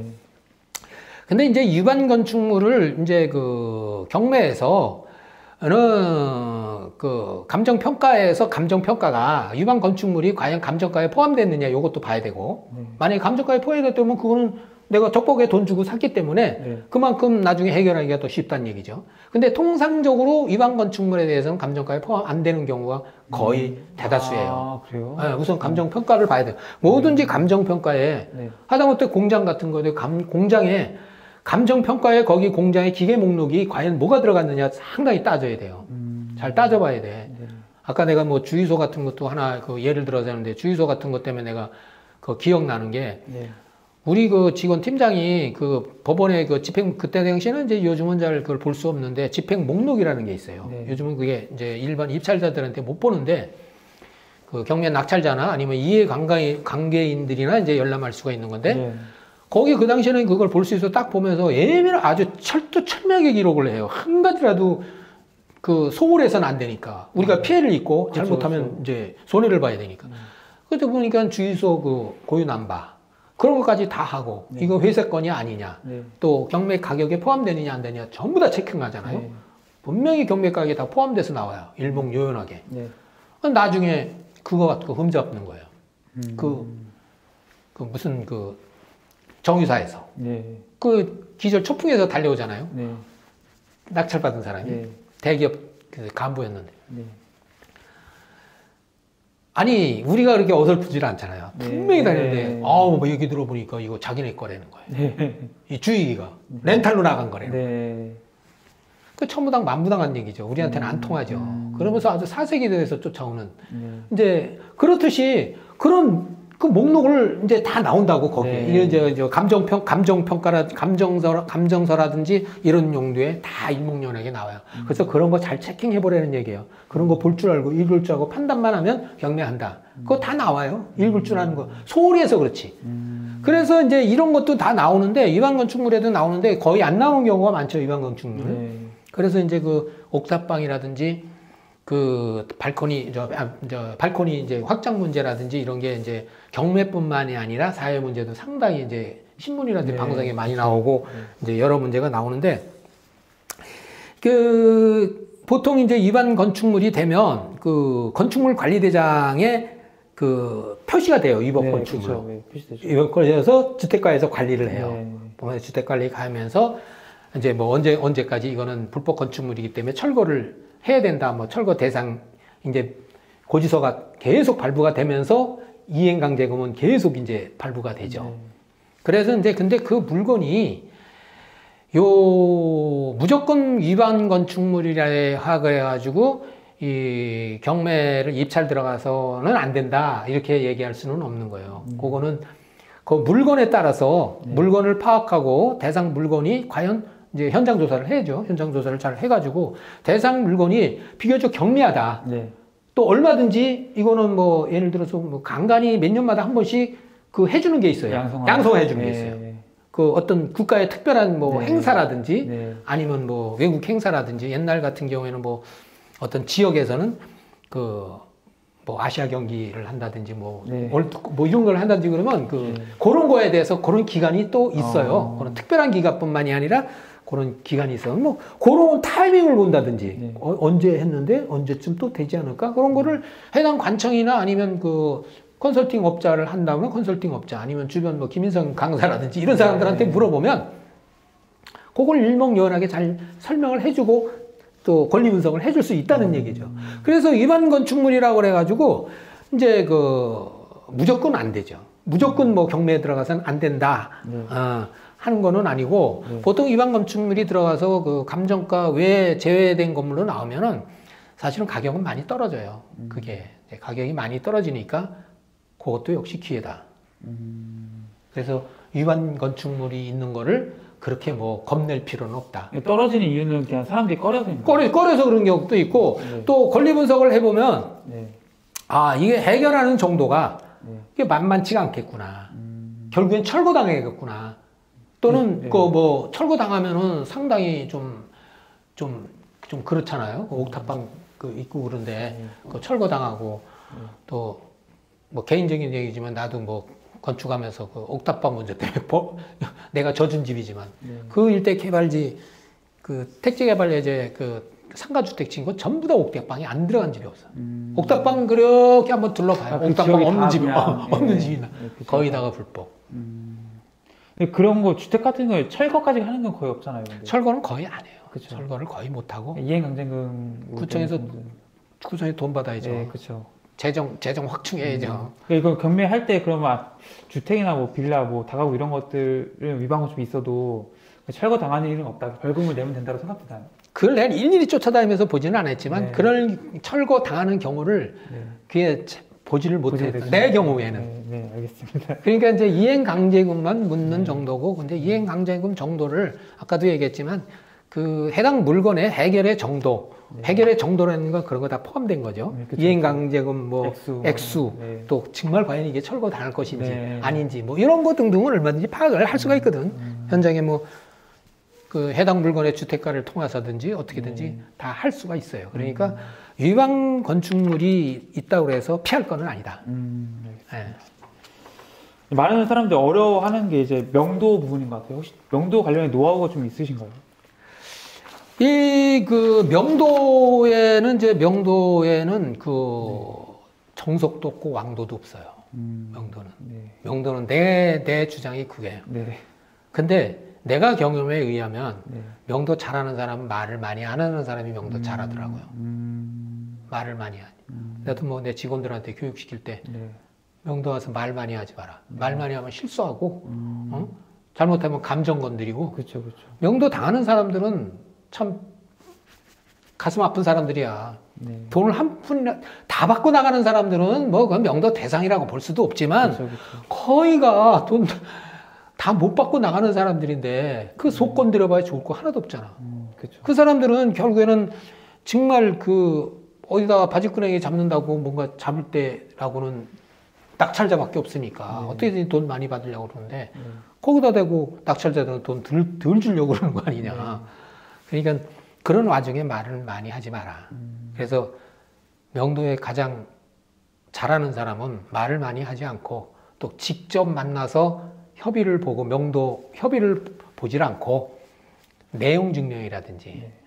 또는 뭐 이런 그, 그 통화라든지 네. 모바일 통화라든지 메시지라든지 이런 거를 통해서 잘 안 만나고 합의를 보는 사람들 음, 그런 사람들을 나는 명도의 고수라고 아. 봐요. 실질적으로 그렇게 많이 했어요, 저도. 음. 아, 실제로 그 명도 법원에서 만나서 어... 법원에서 만나서 해결했어요. 그냥 딱 법원에서 당사자끼리 만나는 거예요. 약속 장소 법원이 법- 약속 장소가. 아, 음. 왜? 약속 장소가 법원이어야지만 되는 이유가 네. 물론 한 푼도 못 받고 나가는 사람들은 예외지만 네. 명도 명도 확인서를 써줘야 되거든요. 그렇죠, 그렇죠. 그걸 써줘야지만 그걸 가지고 가서 그나마 받을 수 있는 아. 최우선 변제금 내지는 네. 배당금을 받잖아요. 음, 낙찰자가 그거 안 써주고 명- 인감을 안 해주면 네. 그걸 천하 없이 못 받아요. 그나마도. 음. 그러니까 그냥 거기서 만나는 거. 거기서 주고 받고 하는 거예요. 그럼, 배, 걸. 그럼 배당 순위가 저기 제일 뒤에 있어도 최우선 변제금 때문에 그게 있어야 하나요? 그렇죠. 임차인은 아, 최우선 변정은 배당 순위가 이제 그 이제 순위로 따지면 3순위인가 그래요. 이제 그 경매 뭐 국세 이런 거 포함해서 아 국세 어, 네. 국세보다 빠르든가 지금 갑자기 생각이 안 나는데 네, 네. 하여튼 경매 경매 비용이 1순위고 2순위가 네. 이제 뭐그그 필요 필요비하고 그 아, 예. 저기 있어요. 그거 뭐 네. 필요비로 그 사실 그 경매 배당금 들어오는 건 거의 없어요. 네. 그게 유익비하고 필요비인데 네, 네. 그게 이제 유치권으로 많이 들어와요. 그게 음. 유치권으로 많이 들어오는데 그래서 뭐 2순위는 배당으로 잡혔지만 네. 에, 3순위가 아마 최순위 변제금, 최우선 변제금이 아닌가. 음, 3순위가 4순위가 하여튼 그 국세하고 배- 아니, 국세가 아니라 이제 당했세지. 네. 이제 근데 하여튼에 어찌됐거나 최수, 최우선, 최, 최선순위 그 보증금, 네. 그 소액보증금에 해당해서 최선순위 보증금을 받더라도 네. 명도확인선이 있어야 돼. 아, 나간 거를 확인을 해줘야지 은- 음, 법원에서는 돈을 내줘요. 그러니까 그게 낙찰자나 뭐 책 속에서 명도에 대한 내용을 상당히 이제 많이 기술을 했는데 네. 사실은 뭐 명도에 대해서 낙찰자가 불안해하거나 괜히 염려하거나 공연히 걱정할 필요는 하나도 없다는 얘기예요. 카드가 너무 많다는 얘기야. 음, 낙찰자는 음, 왜 공연히 걱정해? 걱정은 네. 거기 점유자가 하는 거야 사실은. 그렇죠. 그 맞. 쫓겨나가는 거, 네, 점유자가. 그것이 설령 소유자가 됐든 채무자가 됐든 임차인이 됐든 쫓겨나갈 내가 걱정을 해야지 왜 나는 정당하게 내가 돈 주고 내가 산 내가 걱정을 하냐. 음, 걱정하지 마라. 다 해결은 네. 다 되니까. 그 대신 네. 그 여러 가지 방법론이 좀 있지만 네. 이제 하여튼 핵심적으로 얘기할 수 있는 거는 네. 가서 부딪히지 마라. 말 많이 하자고. 설령 이제 만나도 이제 뭐 한번 한두 번은 이제 뭐 가서 만나더라도 말은 많이 하지 말고 그냥 그냥 슬쩍슬쩍 이사 날짜라든지 현실 상황에 대해서 얘기를 해주고 그러고 나서 내용 증명 같은 걸로 충분히 처리를 해라. 그렇게 해서 나는 이제 에, 그 명도를 많이 했어요. 가장 이제 그러면은 그 이제 수, 지금 수십 년 동안 겨- 경매하시면서 많은 사람 두려워한 게 제가 봤을 땐 그 명도 소송까지 가가지고 집행관들 강제로 이제 하는 음. 게 그렇죠. 이제 그걸 피해야 된다는 생각이 네, 강한 것 같아요. 네. 그 퍼센테이지로 봤을 때 그렇게 명도 소송까지 해서 간 경우는 얼마나? 지금은 명도 소송까지 안 가죠. 음. 옛날엔 다 명도 소송이었으니까. 옛날에 그 어려웠을 때. 어, 어려울 때는 하지. 이, 그 인도명령제 있으면서부터 명도 소송까지 가면 네. 그건 낙찰자는 그건 자격이 없는 거예요. 아. 네, 뭐 명도 소송으로. 간다 그러면 그거는 이기는 게 아니라 진 거예요. 음. 명도 소송 아까도 얘기했잖아요. 네. 최고 빨라봐야 6개월. 그렇죠, 그렇죠. 6개월도 빠른 거예요. 네. 음. 그 그렇게까지 갈 때는 네. 내가 낙찰자가 칼, 찰진 사람인데 너무 네. 칼을 많이 휘둘렀다는 얘기지. 아. 암만 저쪽에서 암만 저쪽에서 그 강하게 네, 버팅기고 버티고 뭐 뭐. 옛날에 내가 심한 뭐 욕설 받고 네. 아주 그거보다 더한 저기를 했어도 네. 응? 그렇게 나왔어도 명도까지 갈, 갈 일은 없다 지금은 음. 인도 명령이 있는데 음. 나 명도 대상은 있어 물론 네. 명도 대상 물건은 이거 특수 물건으로 들어가기 때문에 네. 그런 건 논의로 치고 네. 인도 명령 인도 명령 대상자한테 왜 그 명도 소송을 가게끔 만들어 음. 단 네. 그거는 이제 본인이 실수에 의해서 인도 네. 명령 대상자인데도 불구하고 본인의 실수에서 명도 소송까지 가는 경우는 인도 명령 소송을 할 수 있는 기간이 인도 명령 신청을 할 수, 소송이 아니라 신청이에요 이거는 네. 인도 명령 신청을 할 수 있는 기간이 있는데 그 기간을 넘어섰을 때 네. 그때는 명도로 가야 돼. 그건 참 어리석은 거지. 음. 그래서 인도 명령 대상자한테 명도 소송을 건다는 그까지 가는 거는 네. 그건 얘기 자체도 안 되고 네. 또 그거는 명도 소송까지 갔다 그러면 그건 실패. 음. 왜 인도 명령 안 됐으면 강제 집행도 있는데 네.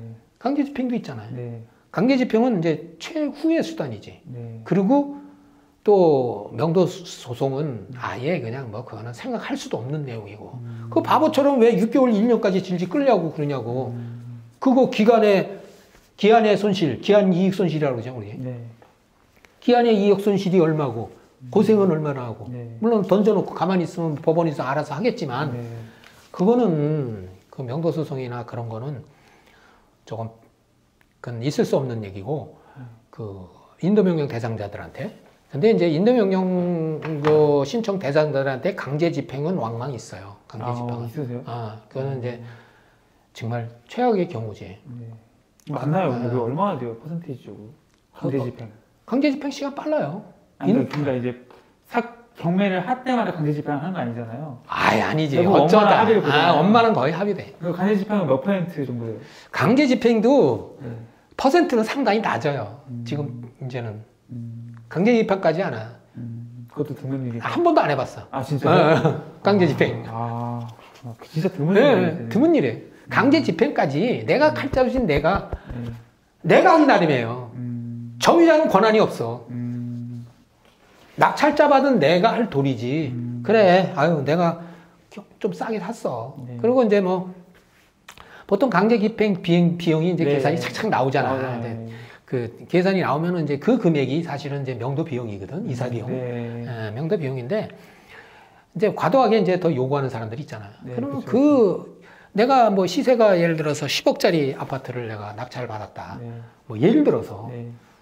네. 근데 뭐 거기 살던 사람이 뭐 이사 비용을 조금 더 내가 생각하는 명도 강제 비- 집행 비용보다 네. 조금 더 세게 부른다. 네. 그럼 세게 부르는 대로 거기서 조정해서 주면 되잖아요. 음, 가격이 비싼 금액, 음. 더 많이 남을 수 있는 금액 음, 샀으니까. 네. 그래서 낙찰자의 요령이다. 음, 낙찰자한테 칼자루가 있다. 음, 그래서 그런 칼자루 진 사람이 결국엔 강제 집행까지 갔다. 그거는 아마 7대 3 정도로 낙찰자의 책임으로 나는 봐요. 음. 더 심하게는 8대 2. 아. 너무 내가 낙찰자를 적용했나? 아니 한 번도 안 하셔가지고. 왜냐면 이제 너무- 점유자들은 피해를 많이 입은 사람들이니까. 그렇죠. 이제 소유자나 그 점유자 같은 저, 저 소유자나 채무자 같은 경우는 상황이 다르지. 이제 네, 임차인을 그렇죠. 두고 얘기하는 임차인 거예요. 두고. 예, 예. 그때는 좀 이제 그 그건 사실 임차인 피해자요. 어, 임차인도 피해되기 때문에 이제 뭐 소유자나 임차인들은 소유자들은 뭐돈 어쩌면은 뭐저 융자 많이 받아가지고 돈 있는 대로 많이 썼을 수도 있는 거고 그렇죠, 그렇죠. 뭐 고의적으로 넘길 수도 있는 네. 거고 뭐 등등 뭐 여러 가지 사연이 많잖아요. 음, 그냥 논외예요. 이제 경매에서 그 명도의 그 소유자나 채무자는 그건 논외예요. 그 3천만 원 정도로 경매를 좀 해야겠다라는 분들에게 좀 생각해봐야 할 거. 하시고 싶은 말씀 있으세요? 그렇죠. 3천만 원이 적은 돈은 아닌데 네. 이 요즘 그 3천만 원 가지고 돈 벌었다고 하는 그 유튜버나 아니면 뭐 이렇게 유명한 사람들이 좀 많더라고요. 네, 많아요. 예. 3천만 원. 네. 어떤 책을 보니까 650만 원 가지고도 뭐 네. 2년 만에 뭐 50억? 예, 몇십억에. 50억을 벌었다고 이렇게 하는 사람도 참 재능들이 참 좋은 사람들이 같아요. 네. 열심히도 물론 했겠지만 음, 이 경매로 경매는 이제 싼 맛의 부동산을 이 경매를 하거든요. 네, 그렇죠. 가장 그 재테크의 핵심이 이제 싼 맛에 하는데 물론 음. 이제 고가에 입찰을 하는 경우도 해서 돈을 버는 경우도 많죠. 최근에 그런 일이 많이 생기는데 네. 그 3년 가지고 3억을 아니야 3억이 아니라 30억. 10배가 아니라 어 50억 50억 네. 50억을 이제 벌었다고 네. 했는데 네. 사실은 아까도 내가 내 얘기를 하면서 부동산 등기도 본 적도 없고 네, 그렇죠. 계좌를 본 적도 없고 네. 이제 사실은 검증은 좀 안 된 거죠. 네. 그럼에도 불구하고 믿거나 말거나 믿어야 돼요. 네. 그런데 중요한 거는 3천만 원 가진 사람들이 경매를 시작한다면서 그런 책이나 그런 얘기를 많이 들었을 거예요. 네. 근데 그거에 자신을 비교하지는 말 해서는 안 돼요. 음, 3천만 원 가지고 그 사람들도 벌었다. 그랬으니 나도 뭐 이렇게 할 수 있지 않냐. 네. 물론 뭐 평가 절하하는 거는 아니지만 네. 전부 다 그렇게 되지는 않고 음, 또 부동산 경매 암만 싼 맛에 사고 뭐 메리트가 있다 그러지만 그렇게 짧은 시간에 1억 천금을 그쵸. 벌 정도의 그런 투기장 같은 장 분명히 아니라는 네. 걸 말씀을 드려요. 음, 그리고 아까도 내가 그 천만 원 가지고 얘기를 했을 네. 때 지분 경매 네, 뭐 네. 이런 얘기를 했었잖아요. 네. 그래서 이제 뭐 그런 경우에 그 3천만 원 가지고 내가 목적을 정하고 타겟을 정하면 네.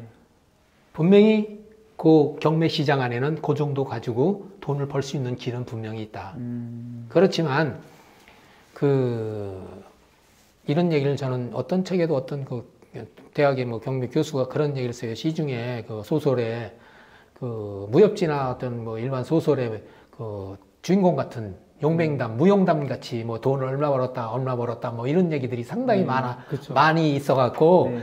그거에 이제 위화감도 느끼고 때로는 상대적 열등감도 느낄 수도 있고 네, 뭐 그쵸. 이런 등등이 있는데 결코 그런 데 현혹, 현혹되지 마라. 음, 아까도 얘기했지만 그렇게 호락호락한 경매 시장 아니다. 음. 물론 경매 맞, 저 로또 맞듯이 네. 정말 또는 뭐, 뭐 나름대로 열심히 해서 그렇게 버는 사람들 있을 수 있지만 네. 결코 거기에 현혹되거나 비교되거나 상대적 어떤 비교감을 느끼지 마라. 음. 이렇게 그 경매 교수도 이제 강의를 하면서 하는 네. 얘기가 있듯이 저도 그런 얘기를 해주고 싶어요. 음. 그렇지만 3천만 원 가지고 죽은 돈이 아니니까 네. 얼마든지 경매를 내가 해봐야 되겠다고 목적을 가지고 네. 시작을 한다 그러면 길은 얼마든지 있다. 근데 그렇게 이제 3천만 원을 가지고 그렇게 뭐 예를 들어 아까 말씀드린 수십억을 버는 사람 있잖아요. 그렇죠. 그렇게 부를 좀 기하급 수적으로 키우려면은 전업으로 해야 되나요? 경매를 전업으로 하는 그거 전업으로 안 하고 부업으로 해, 서 벌었다는 사람들도 있는데 나는 어떻게 보세요? 글쎄 남의 얘기한 거를 내가 뭐 평가 절하긴 그렇고 네. 그거는 따라하기 어려운 네. 전업으로 해도 사실은 만만치 않아요. 아까도 얘기했죠. 결국 투기장이 아니고 일확천금을 부른 그런 장이 분명히 아니라는 거를 음. 그게 현실이에요. 그 일반인이 전업 투자자가 되는 거 어떻게 생각하세요? 경매 전업 투자자. 현업 투자 하면은 이제 먹고 살 게 있어야죠. 우선 수입이 있어야죠. 경매로 이제 수입이 있은 다음에 수입이 있은 어느 뭐 최근에 우리 성장 읽기에서 내가 그거 보니까 네. 어느 분이 그 쓴 책을 가지고 이제 설명을 해주는데 네. 수입이 있어야지 수, 어, 이제 수입거리가 있어야지 투자 네. 수익이 생기는 거 네, 아니냐 네, 이런 그렇죠. 거를 이제, 이제 네. 얘기를 하더라고 그래서 그거 맞는 얘기예요. 음. 전업으로 전업으로 투자를 하면은 내- 뭔가 수입이 있어서 생활에 어떤 영위가 돼야 되잖아요. 네, 그렇죠. 돈을 내가 거기다 투자하면은 그게 투자 수익이 그냥 금방 돈이 나오나요? 안 나오죠. 물론 그 투자를 이제 수익성 부동산 위주로 하는 경우에는 좀 상황이 달라지겠죠. 네, 네. 왜냐면 전업을 해서 내가 수익성 부동산은 일단은 상가든 아파트든 어떻든 월세를 넣으면 돈이 나오니까 네, 네. 그런 경우에는 얼마든지 전업으로 할 수가 있죠. 그리고 전업을 권하고 음, 그런 경우에는 음. 얼마든지 해볼 수 있는 그런 전업 투자죠. 그럼 만약 젊은 사람이 와가지고 아 작가님 저 이제 작가님한테 경매 배워서 전업 투자의 길을 가고 싶습니다. 이러면은 권하실 거예요? 아니면은 만류를 하시겠어요? 아, 그거는 이제 그, 그 사람의 생활 상황이 네. 무조건 너 해봐라. 내가 경매화해서 돈을 벌고 재테크 수단이 강력, 강력하다. 나는 이렇게 주장하는 사람이잖아요. 네. 그렇게 주장하는 사람한테 와가지고 나 경매를 해서 돈 좀 벌고 먹고 좀 살고 싶어요. 이렇게 네. 그러면은 내가 그럼 그래 해라. 이거 괜찮으니까. 재테크 강력, 강력하니까. 네. 이렇게, 이렇게 얘기 못 하죠. 음, 이렇게 얘기 못 하죠. 음, 왜냐면 다 각자 달란트가 있는 거예요. 그렇죠, 그렇죠. 다 다 능력이 있는 거예요. 나는 이런 얘기를 좀 이렇게 해요. 사람이 살아가면서 누군가 가르쳐 주는 사람도 있어요. 네. 그렇잖아요? 네. 근데 버는 사람도 있어요, 보니까. 그쵸. 잘 버는 사람이 있어요. 네, 그렇죠. 가르쳐 주는 못해도. 네. 또, 또 잘 쓰는 사람들이 네, 있어요. 네, 네. 기가 막히게 잘 써, 네. 돈을. 네. 돈을 험펑dom펑 쓰는 게 잘 쓰는 건 아니니까. 네. 네. 세 가지 종류가 있는데, 네. 사회자는 지금 어느 쪽에 조금 들어간다고 생각하세요? 어려운 저는, 저는. 일단 안, 저는 일단 안 쓰고요. 안 쓰고. 버는 데만 전력. 네, 버는 어, 전략. 네. 그것도 좋은 거예요. 네. 근데 잘 가르치는 사람은 돈을 잘 못 벌어요. 음, 특히 대학 교수 분들이 네. 돈잘 벌 것 같아요? 아니요. 못 벌어요. 네. 그 사람들은 돈 못 벌어요. 음, 사업했다? 그냥 실패해요. 음, 근데 가르치기는 잘 가르쳐요. 음, 그래서 스승이에요. 음. 스승이 딸이 없는 게 아니잖아요. 그래서 이제 우리가 스승님들로 이렇게 존경을 받고 그러는 거예요. 네. 돈잘 벌는다고 울어, 부러워하고 뭐 그럴 이유는 세상에 없어요. 음. 요즘 최근에 유튜브라든지 모든 게 돈, 돈, 돈이에요. 네, 그쵸. 나뭐 가지고 주식 가지고 네, 1억 얼마 벌었다. 벌었다, 얼마 벌었다. 코인 나한테 여기 가입하면은 뭐 엊- 엊그제 그 성장일기에 그거 얘기하던데 네. 어? 예, 트레인 우리한테 leading 받으면 네, 뭐 얼마 주식 벌다 leading. 뭐, 네. 이- 뭐 이런 또 이런 사람들 이렇게 들어와 가지고 일주일 만에 3,000% 네. 1,000% 벌었다. 네. 참 힘들죠. 네. 경매도 마찬가지예요. 음, 그렇게 벌지를 못해요. 음, 쉽질 않아요. 음. 그리고 버는 사람도 물론 능력이 탁월한 사람이겠지만 네. 그래서 그 다 대부분 사람들이 달란트가 있기 때문에 재능 능력이 있기 때문에 네. 어떤 젊은이가 나한테 와가지고 나 경매로 전업한다고 네. 이런 나오면은 너 그래 해봐라 이거 괜찮으냐 이렇게 못한다는 이유가 바로 거기 있다는 얘기죠. 아, 그럼 똑같은 그러니까 사람들은 이제 내가 더 많이 경매를 배우고 지식이 높아지면은 경매를 더 돈을 더 잘 벌 거라 생각하거든요. 근데 경매라는 게 어쨌거나 뭐 어느 정도 공부를 하면 이제 어느 일정 수준에 오르겠잖아요. 그럼 그걸로 똑같은 지식을 가지고 있음에도 어떤 사람은 돈을 더 벌고 어떤 사람은 돈을 못 버는 경우가 있는 거잖아요. 그렇죠. 그 차이는 어디에서 비롯된다고 그건 본인의 이제 능력이고 본인의 판단인 거죠. 같을 수가 없어요. 전 절대 같을 수가 없어요.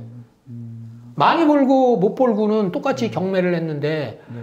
그거는 참 세상사도 마찬가지예요. 똑같은 일을 시작했는데 네. 똑같은 장사를 했는데 거의 같은 목에서 장사를 했는데 여기서 그 누구는 똑같은 비슷한 식당을 해서 같은 업종. 네. 근데 이 사람 돈 잘 벌고 이 사람 돈 못 벌어. 그렇죠, 그렇죠.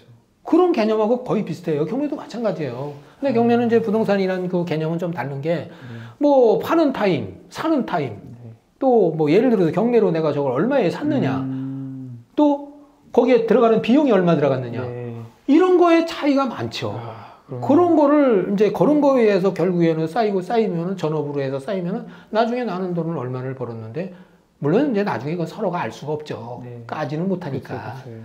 그렇지만 객관적으로 할 때 쟤는 많이 벌은 것 같아, 네. 쟤는 덜 벌은 것 같아 이런 평가를 할 수 있지만 네. 속은 모르죠. 그렇지만 객관적으로 볼 때 아, 쟤는 뭐꼭 이상하게 경매를 좀 비싸게 들어가. 음. 그리고 이상하게 비용이 좀 더 많이 들어가는 것 같아. 뭐 등등.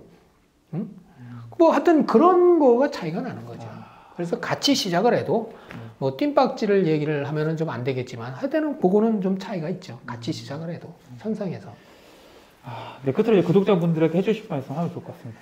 그래서 이제 여태까지 참 많은 얘기를 했는데 우리 음. 구독자분들이 어떻게 이제 이해를 하셨는지 는 모르겠지만 이 경매가 부동산 경매가 그 어떤 특정한 사람들의 전유물은 분명 아니에요. 음, 그 뭐 돈 많이 벌었다 뭐 이런 사람들의 그 전유물이 아니고 꼭 그 사람들만이 돈을 벌 수 있는 그런 것도 아니라는 얘기죠. 음, 너나 나나 우리가 모두가 같이 참여하고 음, 할수 있는 그런 보통 사람들이 전음이기 때문에 네. 부동산에 관심이 있으면 얼마든지 이렇게 들어와서 예, 경매로 해서 돈을 벌 수가 있어요. 그러니까 망설이지 말고 네. 아유, 경매 나도 할 수 있을까? 아유, 뭐 이거 뭐 돈 괜히 잘못하면은 뭐 이게 배보다 배꼽이 터지고 뭐 임차인들한테 그 애먹이고 놀아나고 뭐 소송 걸리고 질질 끌리고 그런다는데 까먹는다는데 이런 염려 같은 거 아예 하지 말고 그런 건 괜히 그냥 염려예요. 네. 그건 공연한 염려고 이 우리가 살면서 그렇지 않습니까? 이 부정은 잘 안 되고 뭐가 잘 안. 되고 망했을 때 그거부터 생각하는 게 부정이에요. 네. 근데 경매는 그렇지 않아요. 그런 거 그냥 묶어 두세요. 경매는 경매 시장 안전해요. 네. 경매 시장 안전한 이유가 집- 아까도 잠깐 얘기했지만 민사 집행법이 바뀌면서 우리 경매 참여자들한테 상당히 유리하게 돼 있어요. 점유자들한테 안 먹고 돈 안 뜯기고 돈 뜯기고 안 뜯기고는 이제 본인의 실수이기 때문에 본인 실수에 의한 거는 비단 경매뿐만이 아니라 그 다른 어떤 업종도 마찬가지예요. 네. 본인 실수에 의해서 잊어버리는 거는 이제 논외로 치고라도 얼마든지 이 경매를 해서 돈을 벌 수 있으니까 부정을 버리고 긍정만 생각하면서 한번 시작을 해보세요.